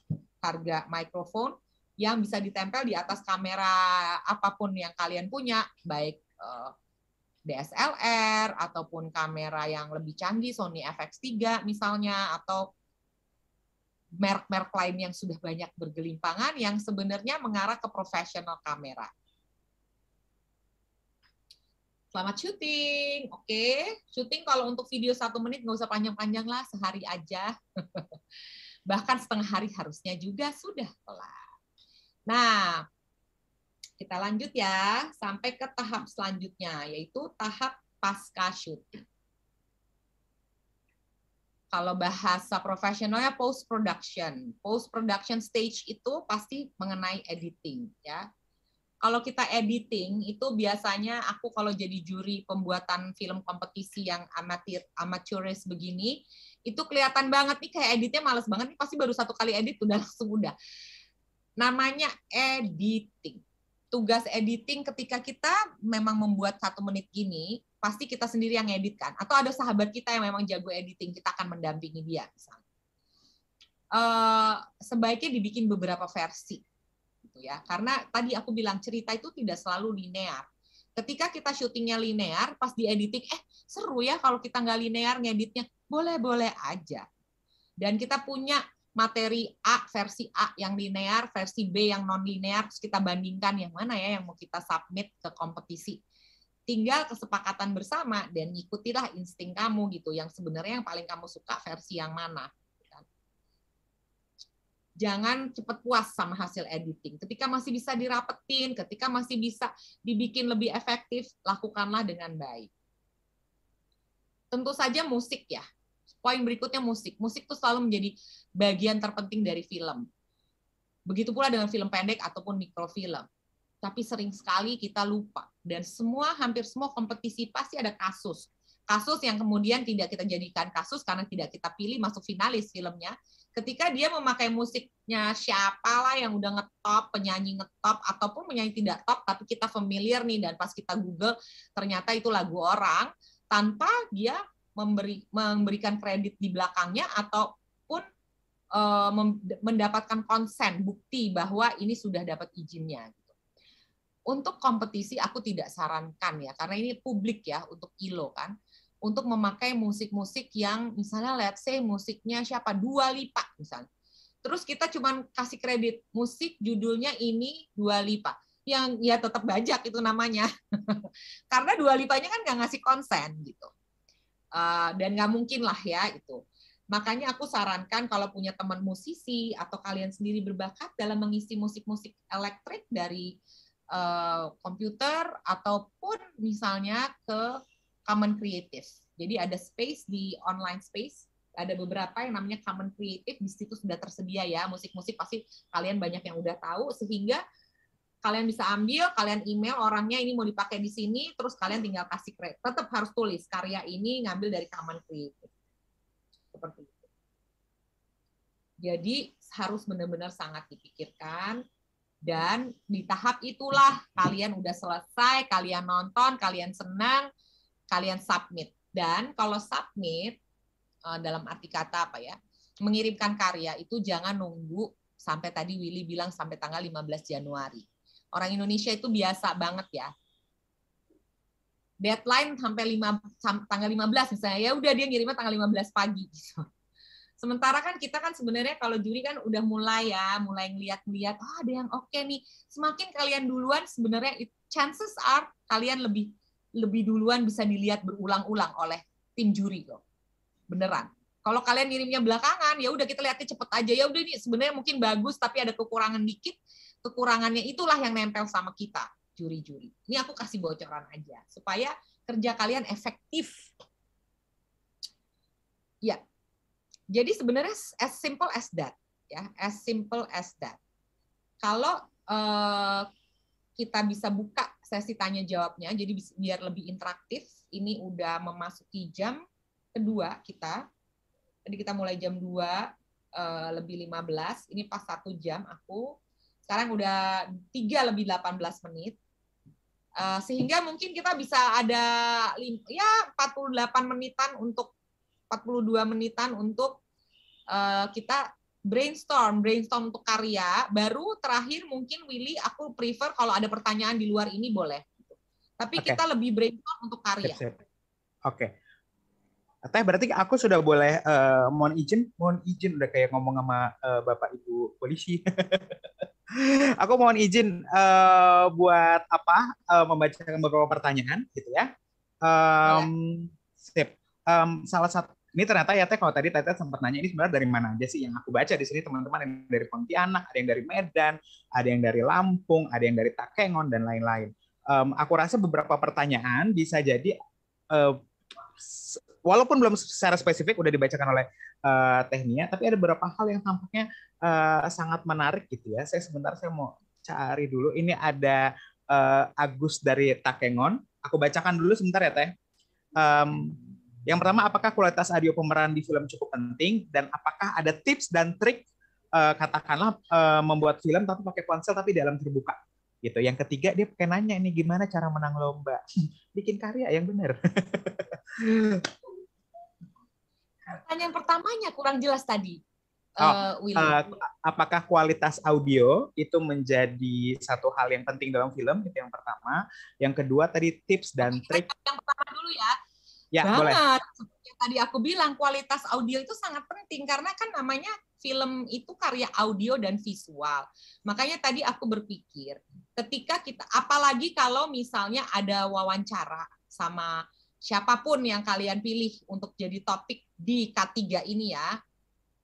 Atau misalnya eh, kita nanti abis ini kita nonton ya 60 second documentary ya. Bisa kan ya uh, uh, uh, Willy? Yang pilihan aku itu udah? Uh, bisa nanti diusahakan sama teman-teman, tapi mungkin um, di pertanyaan terlebih dulu. Suaraku masuk nggak? Masuk, okay. masuk suara kamu. Oke, okay, oke. Okay. Um, ya teh, nanti diusahakan. Nanti aku kabari bisa diputar atau tidak. Uh, ada triknya kenapa? Gimana? Triknya adalah kita tetap rekam suaranya, tetapi ketika kita editing ya, misalnya kita mau bikin apa? Mau bikin tentang uh, bagaimana si barista gitu ya. Barista itu kan dia kan bekerja sebagai uh, bikin kopi ya, bikin kopi di antara orang-orang yang ramai, bagaimana dia menciptakan suasana kerja yang aman, nyaman bagi dirinya, bagi teman-teman baristanya dan bagi pembelinya, ya kan? Itu kan pasti kamu kan ngerekam tuh naruh kamera dengan berbagai shot list, kameranya dari pojok yang sana sini deket jauh segala macam kan. Kan itu audionya udah kalian nyalain pasti kan apakah itu audio dari, langsung dari kamera handphone ataupun audio dari mic yang dipakai oleh dia. Tetapi kalau kalian tanya-tanya, Mas, itu kapan ganti ganti maskernya? Oh iya, sebentar lagi saya mau ganti masker nih, gini gini gini dia jelasin. Oh, saya harus ganti sarung tangan gitu. Saya nih kalau habis uh, berapa ngasih-ngasih orang bersentuhan sama orang tuh saya cuci tangan, misalnya dia bilang gitu nggak apa-apa direkam aja. Tetapi ketika kita editing, kan ketika dia ada gerakan dia mencuci tangannya, ketika gerakan dia ganti sarung tangan, atau ada gerakan dia ganti masker, dia buang maskernya, dia ambil masker ganti yang baru, dia keluar lagi ke menemui customer-customer, klien-klien pembelinya. ketika kayak gitu kan sebenarnya kita bisa ada triknya yaitu setelah selesai dia bekerja udah sepi mas boleh ulang nggak sih mas ngomong nanti gambarnya nggak kita pakai atau hanya rekam di data di data mic. Nanti pada saat mas lagi gitu kita mau mau masukin suaranya mas gitu. itu triknya. Mudah-mudahan kejawab. Pertanyaan berikutnya apa Willy?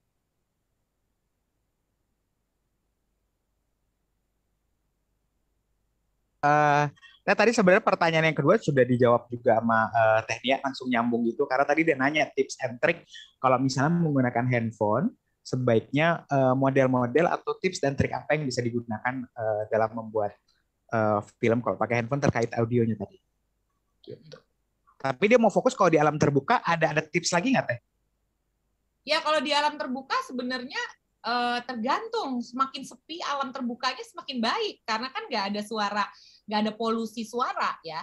Uh, ketika ada suara angin, suara daun berdesir, suara binatang-binatang, burung-burung bercicit cuek itu adalah ambience, ambience yang bagus. Yeah. Kita kalau bikin film malah kadang-kadang kita suruh berhenti semua diem ngomong si uh, sound engineer jalan-jalan ke ke agak sedikit naik bukit apa untuk ngambil ambience-nya untuk direkam pada saat editing nanti akan kita pakai gitu. Tapi ketika udah ada seperti itu, ya mungkin itu justru akan menambah rasa, emosi, keindahan uh, dari apa pun yang kamu ambil di alam terbuka itu. Misalnya mau ngambil keamanan nelayan misalnya, mereka pakai okay. itu gitu kan ya. Itu kan alam terbuka, suara ombak, suara apa itu nggak apa-apa menurut aku justru uh, bagus. Tapi ya memang ketika ada deburan ombak itu pasti kenceng ya suaranya makanya kalau bisa daripada kita pakai direct audio, direct dialog, lebih baik kita pakai voice over, narasi. Jadi ketika oh, udah selesai kita okay. dia ke rumahnya atau ke mana yang sepi, kita bilang ulang dong Pak ngomongnya yang ini ini ini. Jadi ya nama saya Syarif, saya tadi ini saya nelayan, saya kalau di tengah laut ya nggak pakai masker, tapi begitu nyampe ketemu langsung sama pembeli saya, uh, saya langsung pakai masker segala macam misalnya kayak gitu. Iya kan? Itu kan dia bisa ulang. Kita nggak ngambil gambarnya dia ngomong, tapi suara narasi VO itu akan kita tumpuk di antara dia lagi bekerja, beneran dia melaut apa segala macam sampai dia itu dia ketemu pembelinya langsung yang udah nungguin di di pinggir kapalnya ya dia harus pakai masker lagi dia ngingetin pembelinya juga untuk pakai masker misalnya Oke, Teh berarti ternyata salah satu hal yang bisa dilakukan, aku masih mute ya? Eh, enggak ya? Oke, uh, Teh berarti yang bisa dilakukan juga, ibarat kata nih, ngakalin, boleh pakai voice over ya Teh? Ya boleh lah, boleh gitu. banget. Oke. Nah, kalau Teteh kan tadi bilang pakai voice over, aku kebayang, misalnya dalam waktu satu menit gitu ya, boleh nggak memasukkan katakanlah um, tulisan dalam film? Apakah itu itu dibolehkan juga atau ternyata itu lebih oh, lebih banget. lebih nggak asal? Voice over, grafik tulisan itu kan membantu kita bercerita ya sebenarnya. Oke. Okay. Nah, aku um, kalau dari tadi kan aku mulun yang bacain, aku capek juga kali baca-bacain gini ya. Paling lebih baca teh yang lebih capek pasti teknik ya karena jawab pertanyaan. Aku mau ke oh ini ada ada aja yang nanya uh, dia gitu boleh nggak sih Willy? Ada Rio Sanjaya nih dari SMKN 3 Pontianak kayaknya akan menarik nih ada mau tanya tapi dia mau tanya langsung uh, Rio aku izin boleh buka open mic silahkan Rio kalau mau tanya langsung ke Tehnia kamu masih SMK orang muda pula pengen tahu deh apa sih yang mau ditanya ada Rio? Oke, apakah suara saya sudah tersampaikan dengan jelas sebelumnya? Sudah terdengar Rio. Oke, selamat Videonya kamu kalau boleh open boleh loh, Rio. Oh iya kak, tapi di sini kayaknya belum memungkinkan kak. Takutnya oh, nanti pikir kamu benar. Oke. Oke, baik baik baik. Kupikir kamu emang beneran di pantai. Pengen tahu itu di pantai apa di Pontianak. Kayaknya bukan di sana ya. Silakan yo. Oke. Perkenalkan nama saya Rio Sanjaya, berasal dari instansi Sekolah Menengah Kejuruan 3 Pontianak. Izin bertanya kepada Kak Nia Dinata, yaitu pertanyaan dari saya yang pertama, yaitu bagaimana strategi dalam berkompetensi, berkompetisi di bidang konten kreator yang kreatif dan inovatif. Bagi pemula, kira-kira tips and trick yang paling mudah ditempuh bagaimana Kak? Lalu pertanyaan selanjutnya, um, apa suka apa suka dan duka kakak sebagai sutradara dalam memproduksi sebuah karya film lalu bagaimana langkah yang ditempuh setiap mengikuti kompetisi atau lomba dalam pembuatan sebuah konten kreatif agar dapat selalu berkualitas dan dapat dipastikan itu menang kira-kira dap dari segi mana biasanya kriteria penilaian yang paling menonjol di mata para juri terima kasih Wait, oke. Uh, teh aku bantu. Boleh, boleh. Jadi uh, terima kasih sekali uh, sebagai anak SMK, anak Gen Z ya ini ya, generasi Z, pasti kalian sudah tidak asing lagi dengan teknologi.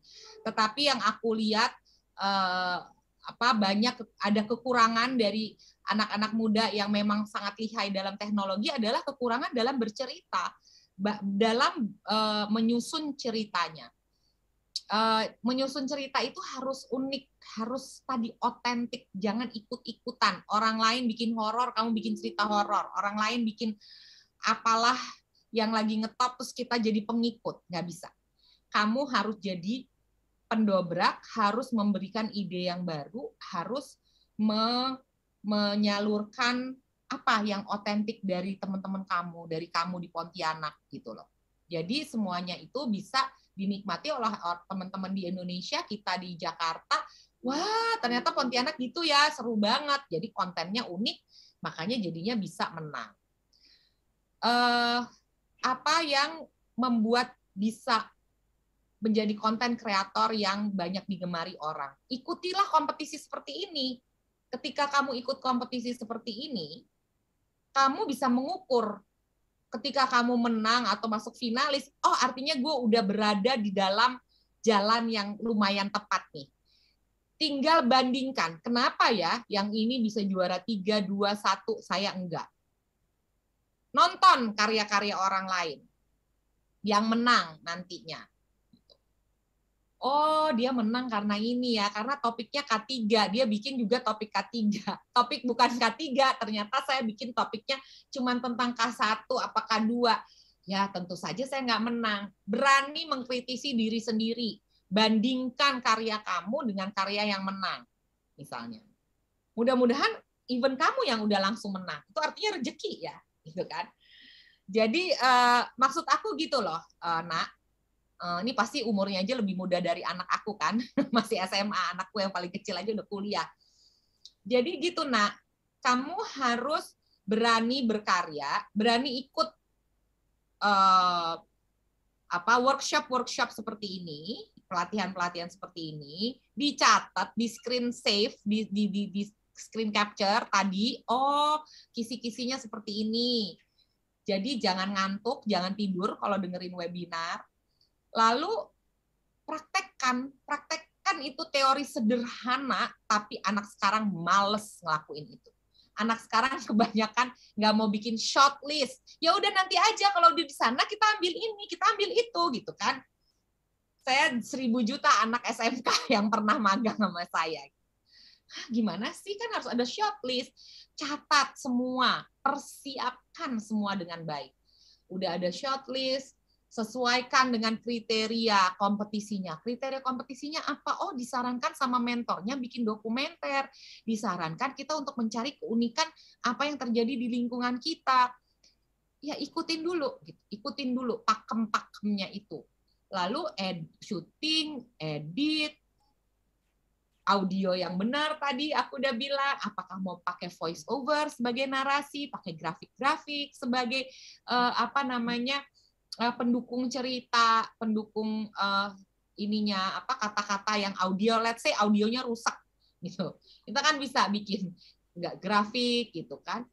Lalu kirim karyanya dengan tidak terburu-buru. Jangan tanggal 15 Januari deadline baru ngirim tanggal 15 pagi. Itu itu semua udah aku bilang dari dari awal sampai akhir ya Willy.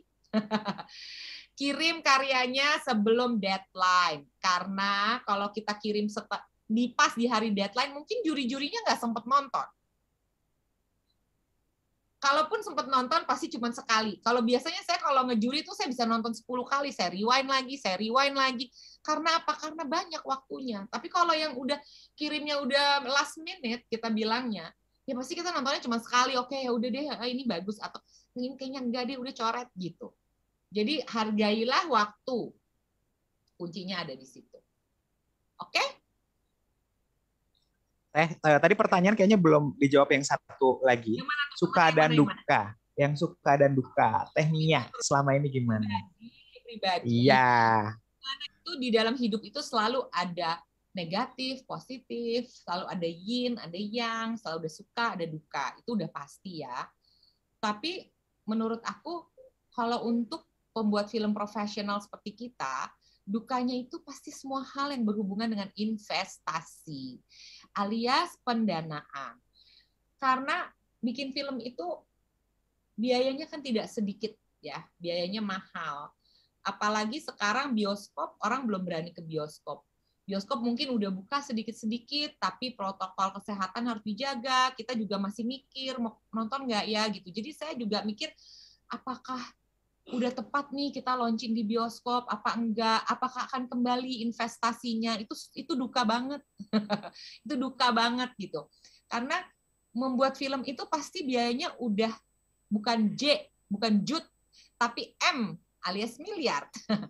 Kalau di dalam dunia yang profesional. Jadi kan ketika kita harus mempertanggungjawabkan dana yang sudah kita keluarkan kepada investor, itu kan duka ya apabila kondisi lagi pandemi begini. Maka dari itu saya uh, tapi tetap ada sukanya karena di saat pandemi ini tetap ada uh, streaming platform alias OTT ya, over the top. Yang mana seperti Netflix film saya ada di situ ternyata. Jadi kita bekerja sama dengan Netflix, bisa ditonton oleh seluruh dunia 190 negara di dubbing jadi bahasa Jerman, di dubbing jadi bahasa uh, apa namanya?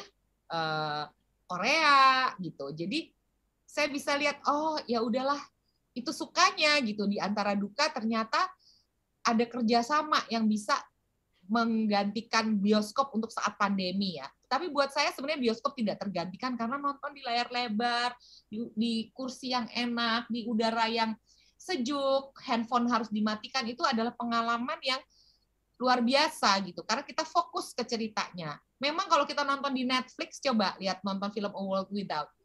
Eh ada telepon masuk ya udah ngangkat telepon dulu apa dulu kayak gitu kan walaupun kita bisa rewind sih gitu dan duka yang paling dalam buat aku adalah pembajakan. Buat seluruh filmmaker duka adalah pembajakan. Kan tadi saya udah bilang ya, kalau bikin film itu bukan J, bukan jut, tapi M, mil, miliar gitu. Jadi ketika kita udah dipercaya oleh investor-investor, kita bikin, kita produksi, lalu kita tayangkan baik di bioskop maupun di Netflix kemarin saya.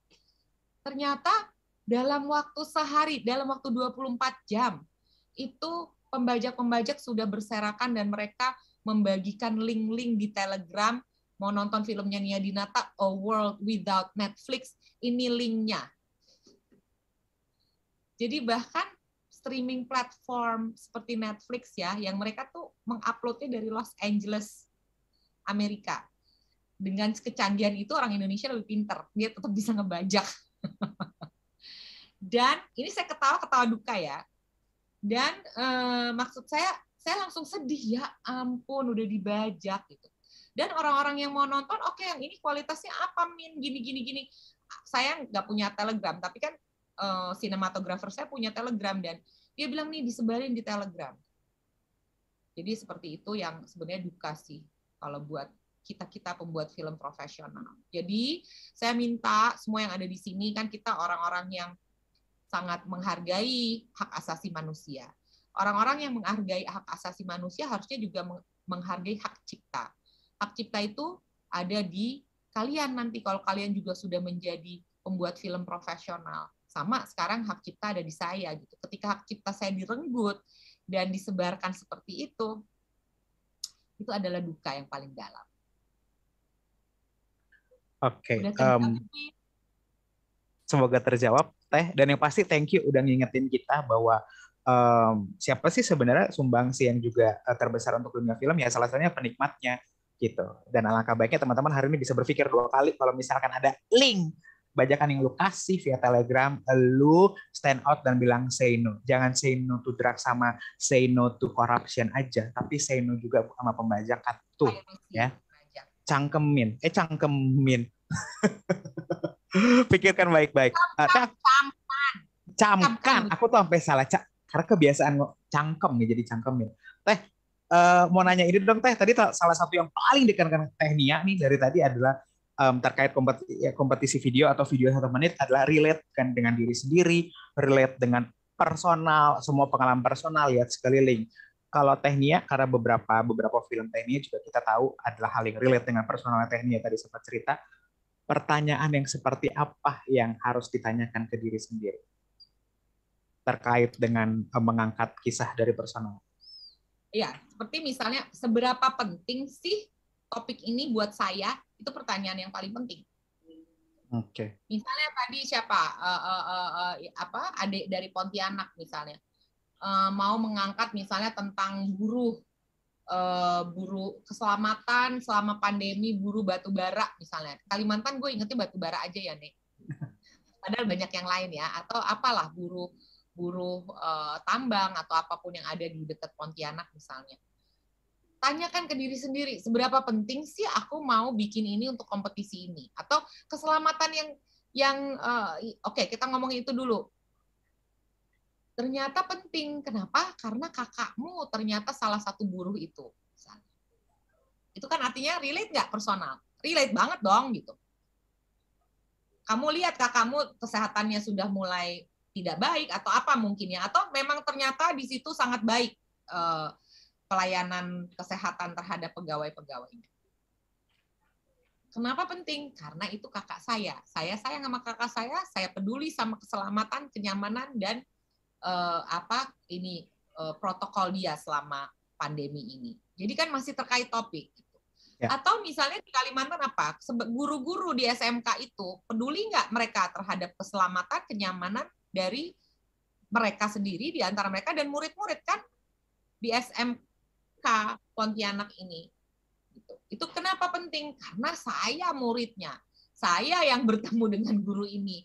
Kalau kita saling tidak menjaga keselamatan belajar mengajar, bisa saling menularkan. Penting dong buat saya. Jadi itu itu relatable dan relevansinya ada di situ.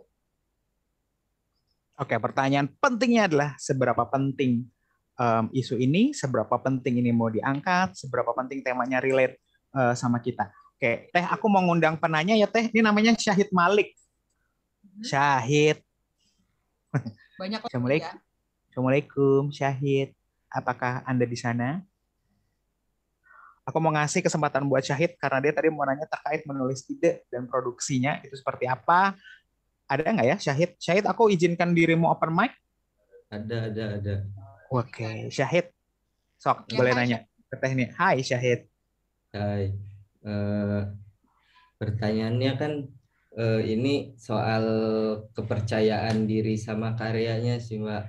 Kan kadang kita dari awal ketika nulis ide, terus apa ya kumpul sama teman-teman bahas ide, konsepnya mau gimana apa segala macam sampai ke produksinya. Nah, ketika kita setelah selesai produksi setelah selesai editing kita nggak nggak dapat kepercayaan diri tuh sama hasil jadi karyanya. Nah itu kita harus kayak gimana? Terima kasih. Aduh masa apa apa yang membuat kamu tidak ada kepercayaan diri ketika udah lihat jadi hasilnya? Apa boleh boleh dijawab nggak uh, uh, uh, pertanyaanku Kenapa? Poin-poin apa ketika nonton karya kamu terus kamu jadi nggak percaya diri? Poin apanya?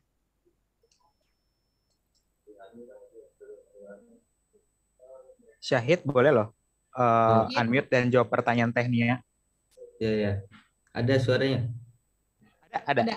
Silahkan. Uh, waktu itu yang buat nggak percaya dirinya yang pertama saya masih ngerasa kekurangan di audio masih banyak noise-nya. Terus eh, ada ada beberapa lagi lah yang jadi pertimbangan saat itu sampai nggak bikin apa sampai bikin nggak pede. Terus dari ide yang diangkatnya pun waktu itu uh, setelah kita masukin festivalnya kita jadi mikir oh kayaknya kurang ya itu tuh jadi lihat hasilnya malah ngerasa kurang itu sih oke tapi akhirnya dimasukin ke festivalnya dimasukin juga akhirnya uh, uh, abis itu ditayangin oleh festivalnya? Wah, kalau itu aku nggak tahu tuh. Kayaknya udah nggak lolos juga sih. Soalnya produsernya oh, yang megang itu. Kamu punya apa? YouTube channel atau Facebook di, di ditaruh nggak di Facebook apa video? Ada ditaruh apa? di Facebook, eh di YouTube, tapi di private sekarang. Ya, jadi sebenarnya nggak apa-apa. Itu sebenarnya bukan kamu tidak sendiri. Karena kebanyakan kita juga kalau nonton kayak, aduh kenapa waktu itu gue nggak begini-begini. Kita sebagai manusia tidak pernah puas ya. Tapi jadi aku cuma mau bilang bahwa kamu tidak sendiri. Even yang profesional aja sel selalu masih sering merasa begitu. Uh, cuman uh, kalau aku boleh bilang bahwa kita tidak tidak usah merasa terlalu peduli dengan perasaan itu. Oke kita kita sadari boleh kok gue nggak pede ya? Tapi abis itu tetap kita kirim. Kalau nggak lolos kita tayangin di, di YouTube kita sendiri. Dan kita harus catat apa ya kelemahannya ini menurut kita dan ketika kita punya kesempatan untuk ikut kompetisi lagi dan produksi lagi kelemahan itu harus sudah kita atasi gitu. Jadi kayak audio noise segala macam. Jangan pernah takut bikin film yang isinya hanya voice over, apalagi film di bawah di bawah lima menit, itu nggak apa-apa isinya voice over. Jadi ketika editing dan udah aduh ini noise-nya banyak banget, udah deh nggak bisa, kita harus rubah struktur, kita ganti dengan voice over. Kan seperti itu. Kita kita boleh begitu, kita bisa bereksperimen seperti itu. Kalau ternyata itu tidak berhasil juga, subtitle selalu membantu. Jadi walaupun ada dialog ya dan bahasa Indonesia, subtitle kan kita selalu mikir oh subtitle tuh harus bahasa Inggris supaya orang bule bisa nonton. Enggak juga. Subtitle itu bisa tetap bahasa yang dia ngomong di dialognya, tetapi keluar subtitlenya. Atau bahkan kita utarakanlah kelemahan kita sendiri di depan sebelum menonton film. Kasih disclaimer di depan.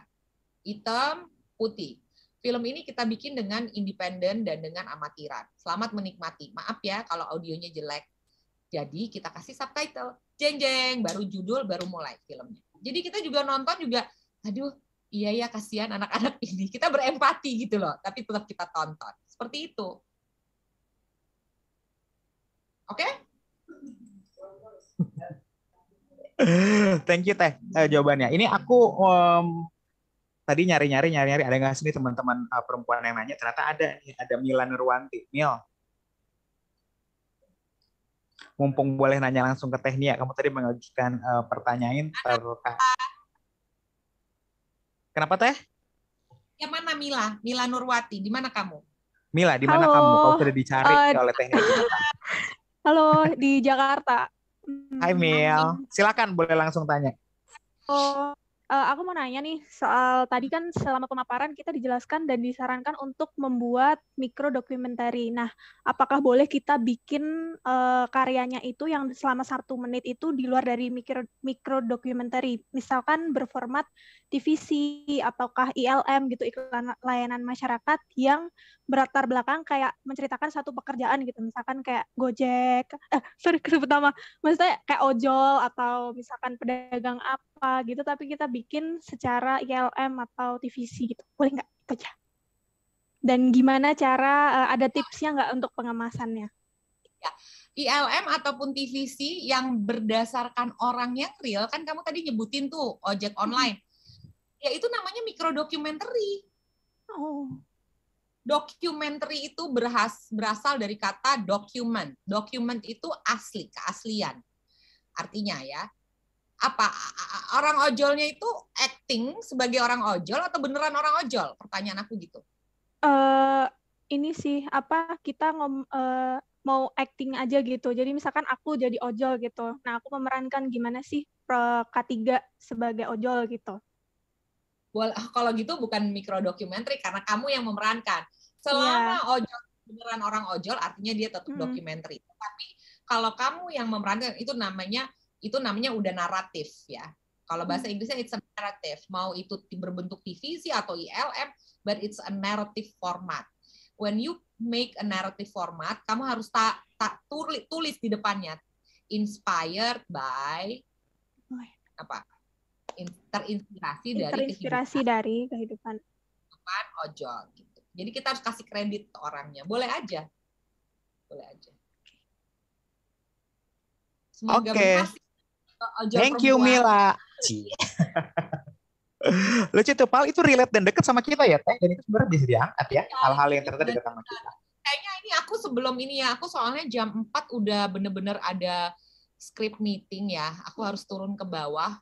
Eh, Oke. Ini udah jam kurang 12 ya, eh, Willy. Tidak terasa banget ya. Banget. Aku kayaknya harus kasih lihat deh 60 second Ya, boleh. dokumenternya. Aku baru mau ngasih tahu, Teh, eh, 60 seconds-nya sudah bisa diputar. Teman-teman kita saksikan bareng-bareng. Ini tadi salah satu contoh eh, yang bisa teman-teman saksikan dalam pembuatan kompetisi video satu menit. Let's go.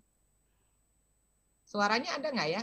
Suaranya belum keluar, teman-teman. Boleh dibantu sebentar.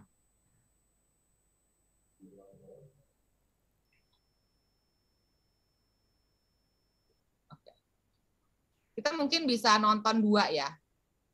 Boleh, Teh. ada? Ini contoh supaya audio visualnya bagus. Ini dia di ruangan terbuka ya. Lihat, aduh, kok nggak ada suaranya? Teman-teman ILO, Teman-teman Hilo, bisakah bantu? teman-teman ILO, ini tidak ada suaranya loh, 60 second-nya. Kok nggak ada suaranya?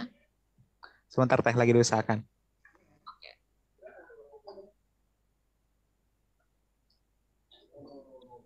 Bisa, teman-teman? Bisa nggak share-nya with, sorry.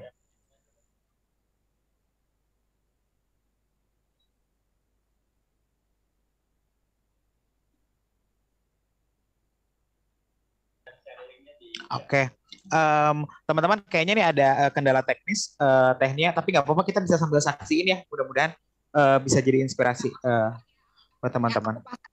IG aku, bentar ya. Supaya kalian bisa kebayang nih suaranya. Bagaimana dia mengakali suaranya.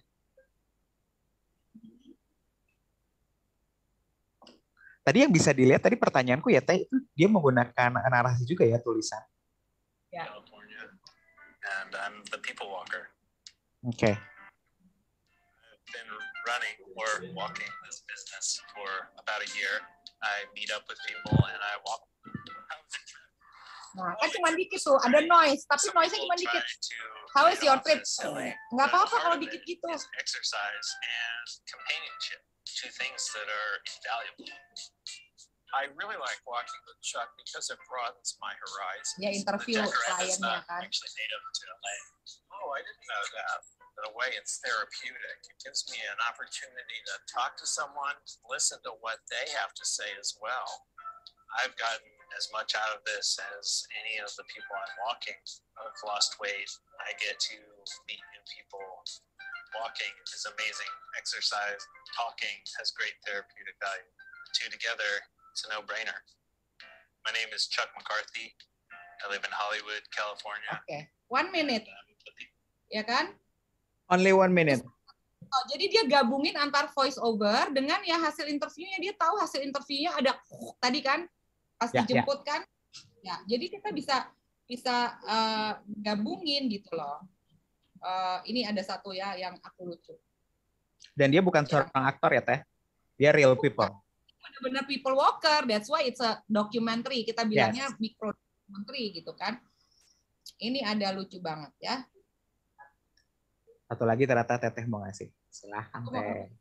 Ini tentang eh, perempuan tukang bikin wig untuk orang-orang penyakit kan- cancer. Ya.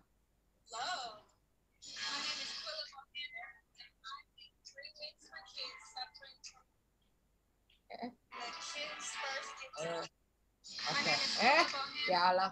Bentar. Pak, ini tentang si Kila ini dia bikin wig tapi dia kasih wig gratis buat anak-anak sakit cancer ya. My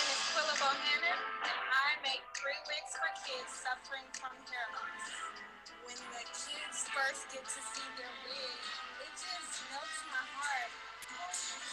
It just makes them feel loved. My name is Quilla Bohannon, and I make three wigs for kids suffering from hair loss. When the kids first get to see their wig, it just melts my heart. It just makes them feel loved. My name is Quilla Bohannon. I make sekarang dia juga bikin yang cuma 30 detik gitu loh. Benar, benar teh. Nggak sampai satu menit ya. Jadi nggak semuanya satu menit, tapi dalam dalam sekian detik aja kita bisa ngerasain ya ampun ternyata ada ya kayak gitu kan something new gitu that we kalau aku rata-rata 50% dari apa yang aku tonton di sini aku baru tahu ada profesi itu ada orang yang kayak gitu orang yang ngalamin itu gitu Dan hal ini walaupun tidak terlalu panjang katakan, tadi micro documentary berhasil mengorek rasa kita ya teh. Tadi terkait Betul. validasi perasaan yang ke Walker tadi gitu bahwa setiap orang butuh didengarkan loh. Setiap orang butuh di, ditemani gitu untuk memvalidasi emosi dan segala macam. Dan satu lagi ternyata em, ketika lo punya passion eh, terkait dengan rambut, eh, lo bahkan bisa memberikan itu buat orang lain untuk teman-teman penderita kanker dan lo bisa lakukan dengan apa pun caranya dan itu adalah relate itu nggak perlu jauh-jauh cari nggak perlu sibuk-sibuk nunggu inspirasi nunggu wahyu turun di kepala terus selalu ketik-ketik ketik teman-teman cukup melihat dengan mata melihat Observasi. dengan hati observasi dan tanyakan diri dan juga sekeliling kurang lebih seperti itu ya teh Betul sekali. Jadi aku sangat-sangat berharap Willy supaya semua yang ikut ada di sini bisa mulai mengobservasi nih sekarang. Baik mau shoot orangnya langsung, misalnya tadi kan Mila eh, dia bilang dia mau shoot dia sebagai ojol karena dia inspirasi, inspired Betul. by Ya. eh, apa keselamatan kerja, kesehatan, semuanya dari eh, para teman-teman kita sebagai ojol. Jadi dia mau ngerasain sendiri. Tetapi ketika dia ngerasain kan harusnya dia juga udah riset. Artinya dia sudah observasi selama ini bagaimana hidup kita tanpa mereka kan. Gitu. Jadi kan tanya ke diri sendiri, penting banget nggak sih aku menceritakan ini? Penting gitu. Mungkin buat Mila penting. Seperti itu ya Will. Iya, eh, Teh, eh, thank you, terima kasih banyak. Tadi Teteh sempat bicara, Teteh harus ada kegiatan lain. Aku mau ngucapin terima kasih. Iya, sebentar lagi. Eh, teh, terima kasih. Tapi kita mau foto bareng dulu ya, Teh. Nanti sem ah, ah, kita foto bareng sejenak.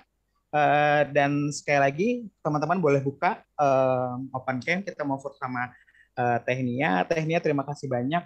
Terima kasih menyempatkan waktu. Terima kasih berkenan menikmati waktu. Em, mau ngambil quotes dari Arisan 2 eh, dari Mei Mei intinya kita memang harus menikmati waktu yang diberikan semesta dengan gratis. Teman-teman boleh foto bareng.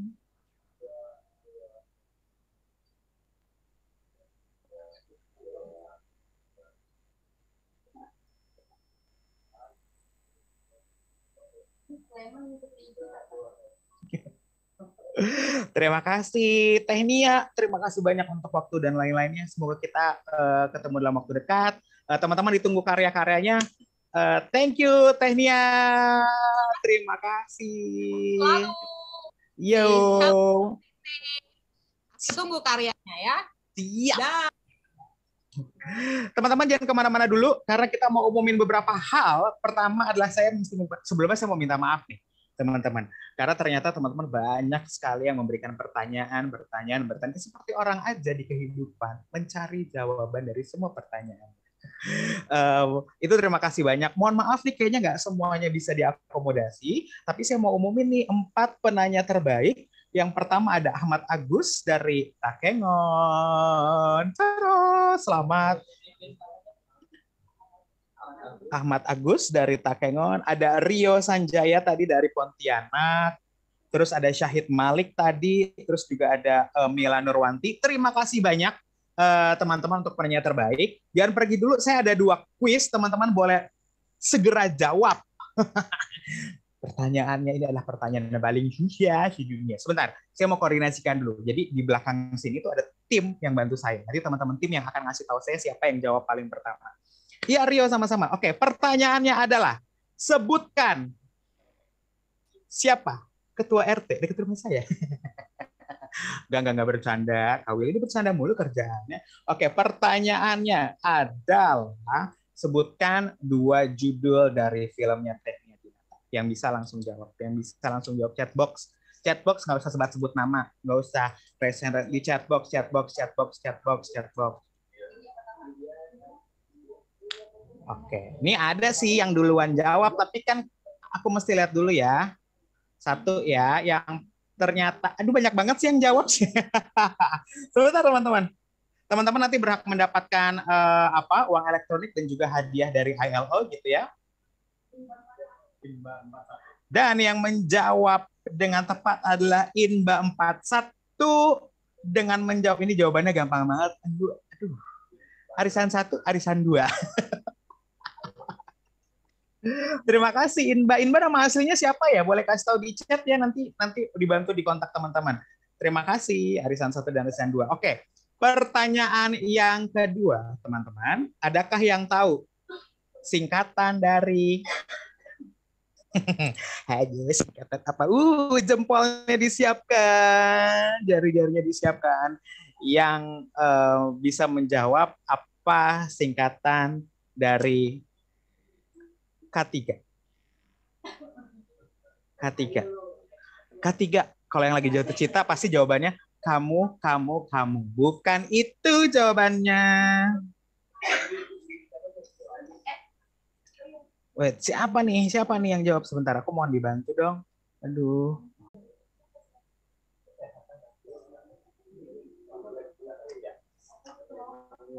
Ayo, aku sih nunggu-nunggu aja jadi teman-teman lagi bisik-bisik. Bisik-bisik.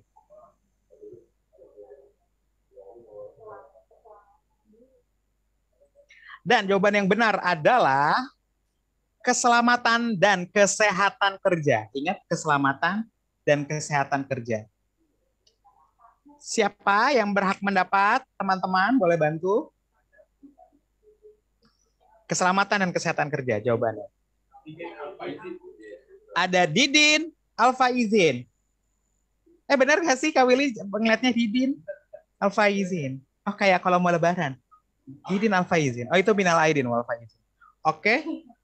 Um, itu tadi dari teman-teman uh, tim yang ngasih tahu. Selamat kepada empat penanya terbaik dan juga dua pemenang quiz dan eh, teman-teman, uh, aku mengucapkan terima kasih. Aku nunggu karya teman-teman karena aku mau ngumumin nih uh, pertanyaan eh apa namanya kalau menang emang dapat berapa sih kak? Juaranya berapa sih kak? Tenang saja.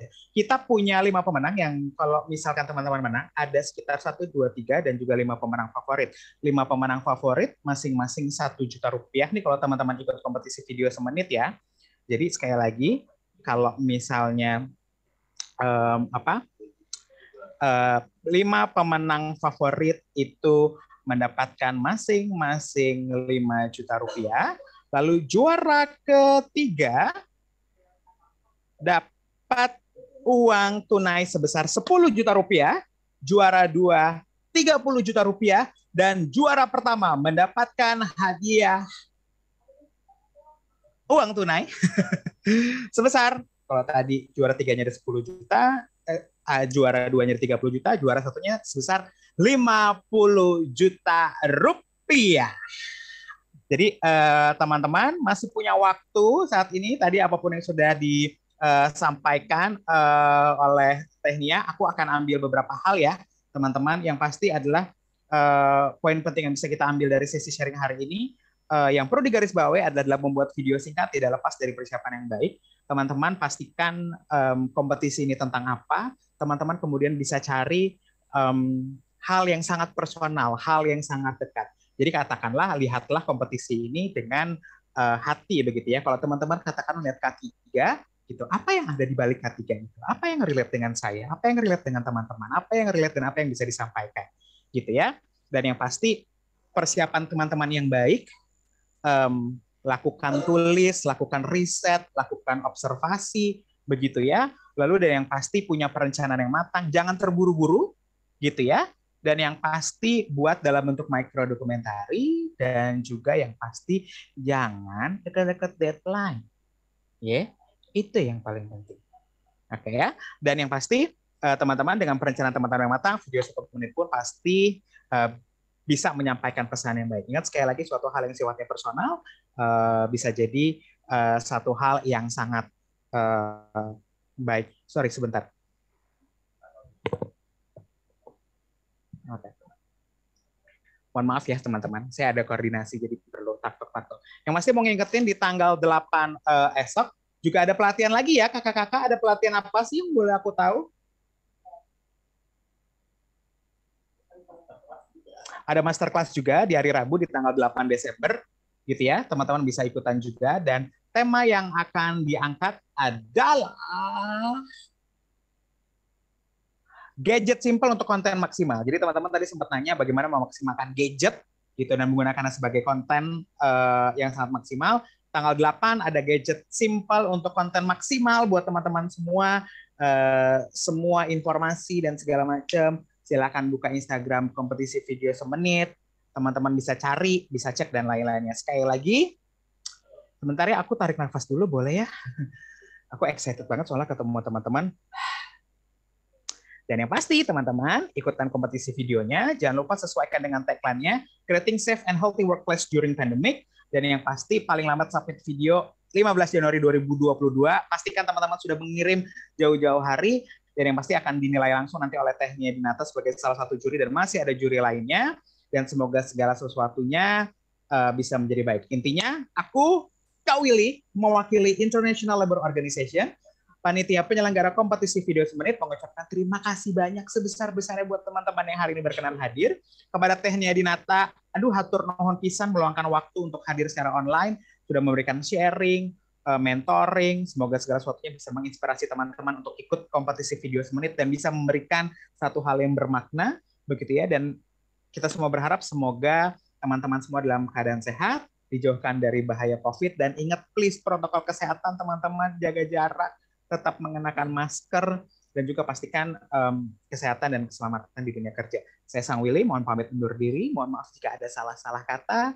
Intinya teman-teman, um, seluruh penanya terbaik hari ini uh, dan juga pemenang nanti akan dikontak oleh kami semua. Tara, thank you semuanya. Sampai jumpa. Salam sehat, salam sayang, dan salam cinta. Dan semoga semuanya berbahagia dan berdaya. Mohon pamit. Wassalamualaikum warahmatullahi wabarakatuh. Dadah. See ya. Ngoang, ngoang, ngoang, ngoang, ngoang, ngoang.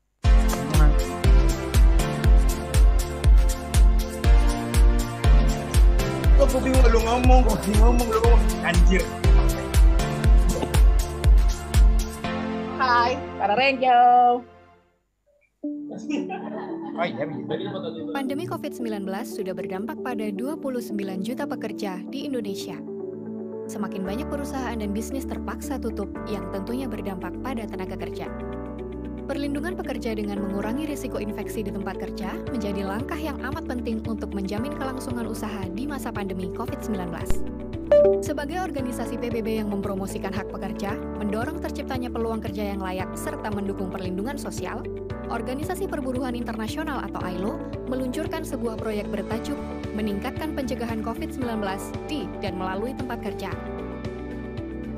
Proyek ini bertujuan untuk meningkatkan upaya pencegahan penularan virus di tempat kerja, serta membantu pengelolaan penerapan keselamatan dan kesehatan kerja yang lebih baik. Proyek ini akan memberi bantuan teknis kepada 1.500 tempat kerja di Indonesia lewat pengembangan risk assessment tool dan layanan rekomendasi dari dokter kesehatan kerja. Perusahaan dan pekerjanya dapat melakukan tindakan pencegahan penularan virus demi keselamatan diri dan kelangsungan bisnis. Dengan tujuan meningkatkan kesadaran dari setidaknya 10.000 pekerja tentang protokol kesehatan COVID-19 serta kepedulian akan K3, Melalui proyek ini, kapasitas pemangku kepentingan dalam menanggapi krisis saat ini dapat terbantu, serta menjadi lebih awas dalam mengantisipasi tantangan K3 di masa depan.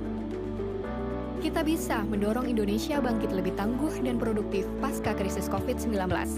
Dengan meningkatkan tindakan pencegahan di tempat kerja serta memastikan terciptanya lapangan kerja dan kelangsungan bisnis.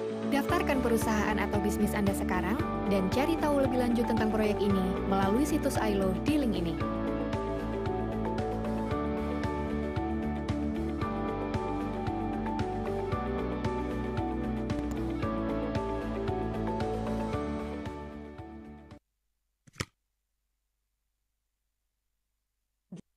Panduan yang aman dan sehat saat bekerja dari rumah di masa pandemi. Tips bekerja dari rumah agar tetap aman, sehat, dan produktif. Temukan tempat yang cocok untuk bekerja di rumah, memiliki pencahayaan dan ventilasi udara yang cukup, pastikan lingkungan yang bersih dan nyaman. Perhatikan cara duduk yang ergonomis, yaitu duduk tegak tidak membungkuk, Posisi leher tegap tidak menunduk ke depan, atur kursi sehingga sandarannya menopang tulang belakang. Perhatikan jarak mata terhadap layar komputer, laptop, atau perangkat seluler. Atur kesesuaian cahaya perangkat untuk mengurangi resiko pancaran radiasi layar monitor yang dapat menimbulkan kelelahan pada mata. Jika Anda menghadiri kegiatan ini bersama-sama, jangan lupa untuk menggunakan masker dan tetap menjaga jarak secara fisik. Perhatikan bahaya kelistrikan, seperti penggunaan stop kontak dengan beban listrik berlebih. Jaga kesehatan mata Anda dengan menerapkan rumus 20 20 20, yakni istirahat setiap 20 menit sekali dengan melihat objek sejauh 20 kaki kurang lebih 6 meter selama 20 detik. Tidak melakukan aktivitas lain yang membahayakan keselamatan seperti berkendara. Lakukan perenggangan untuk merelekskan tubuh. Untuk keterangan lebih lanjut, silahkan hubungi pengawas ketenagakerjaan atau anggota P2K3 di tempat kerja Anda. Semoga Anda, kita semua, dan Indonesia senantiasa dalam kondisi selamat dan sehat.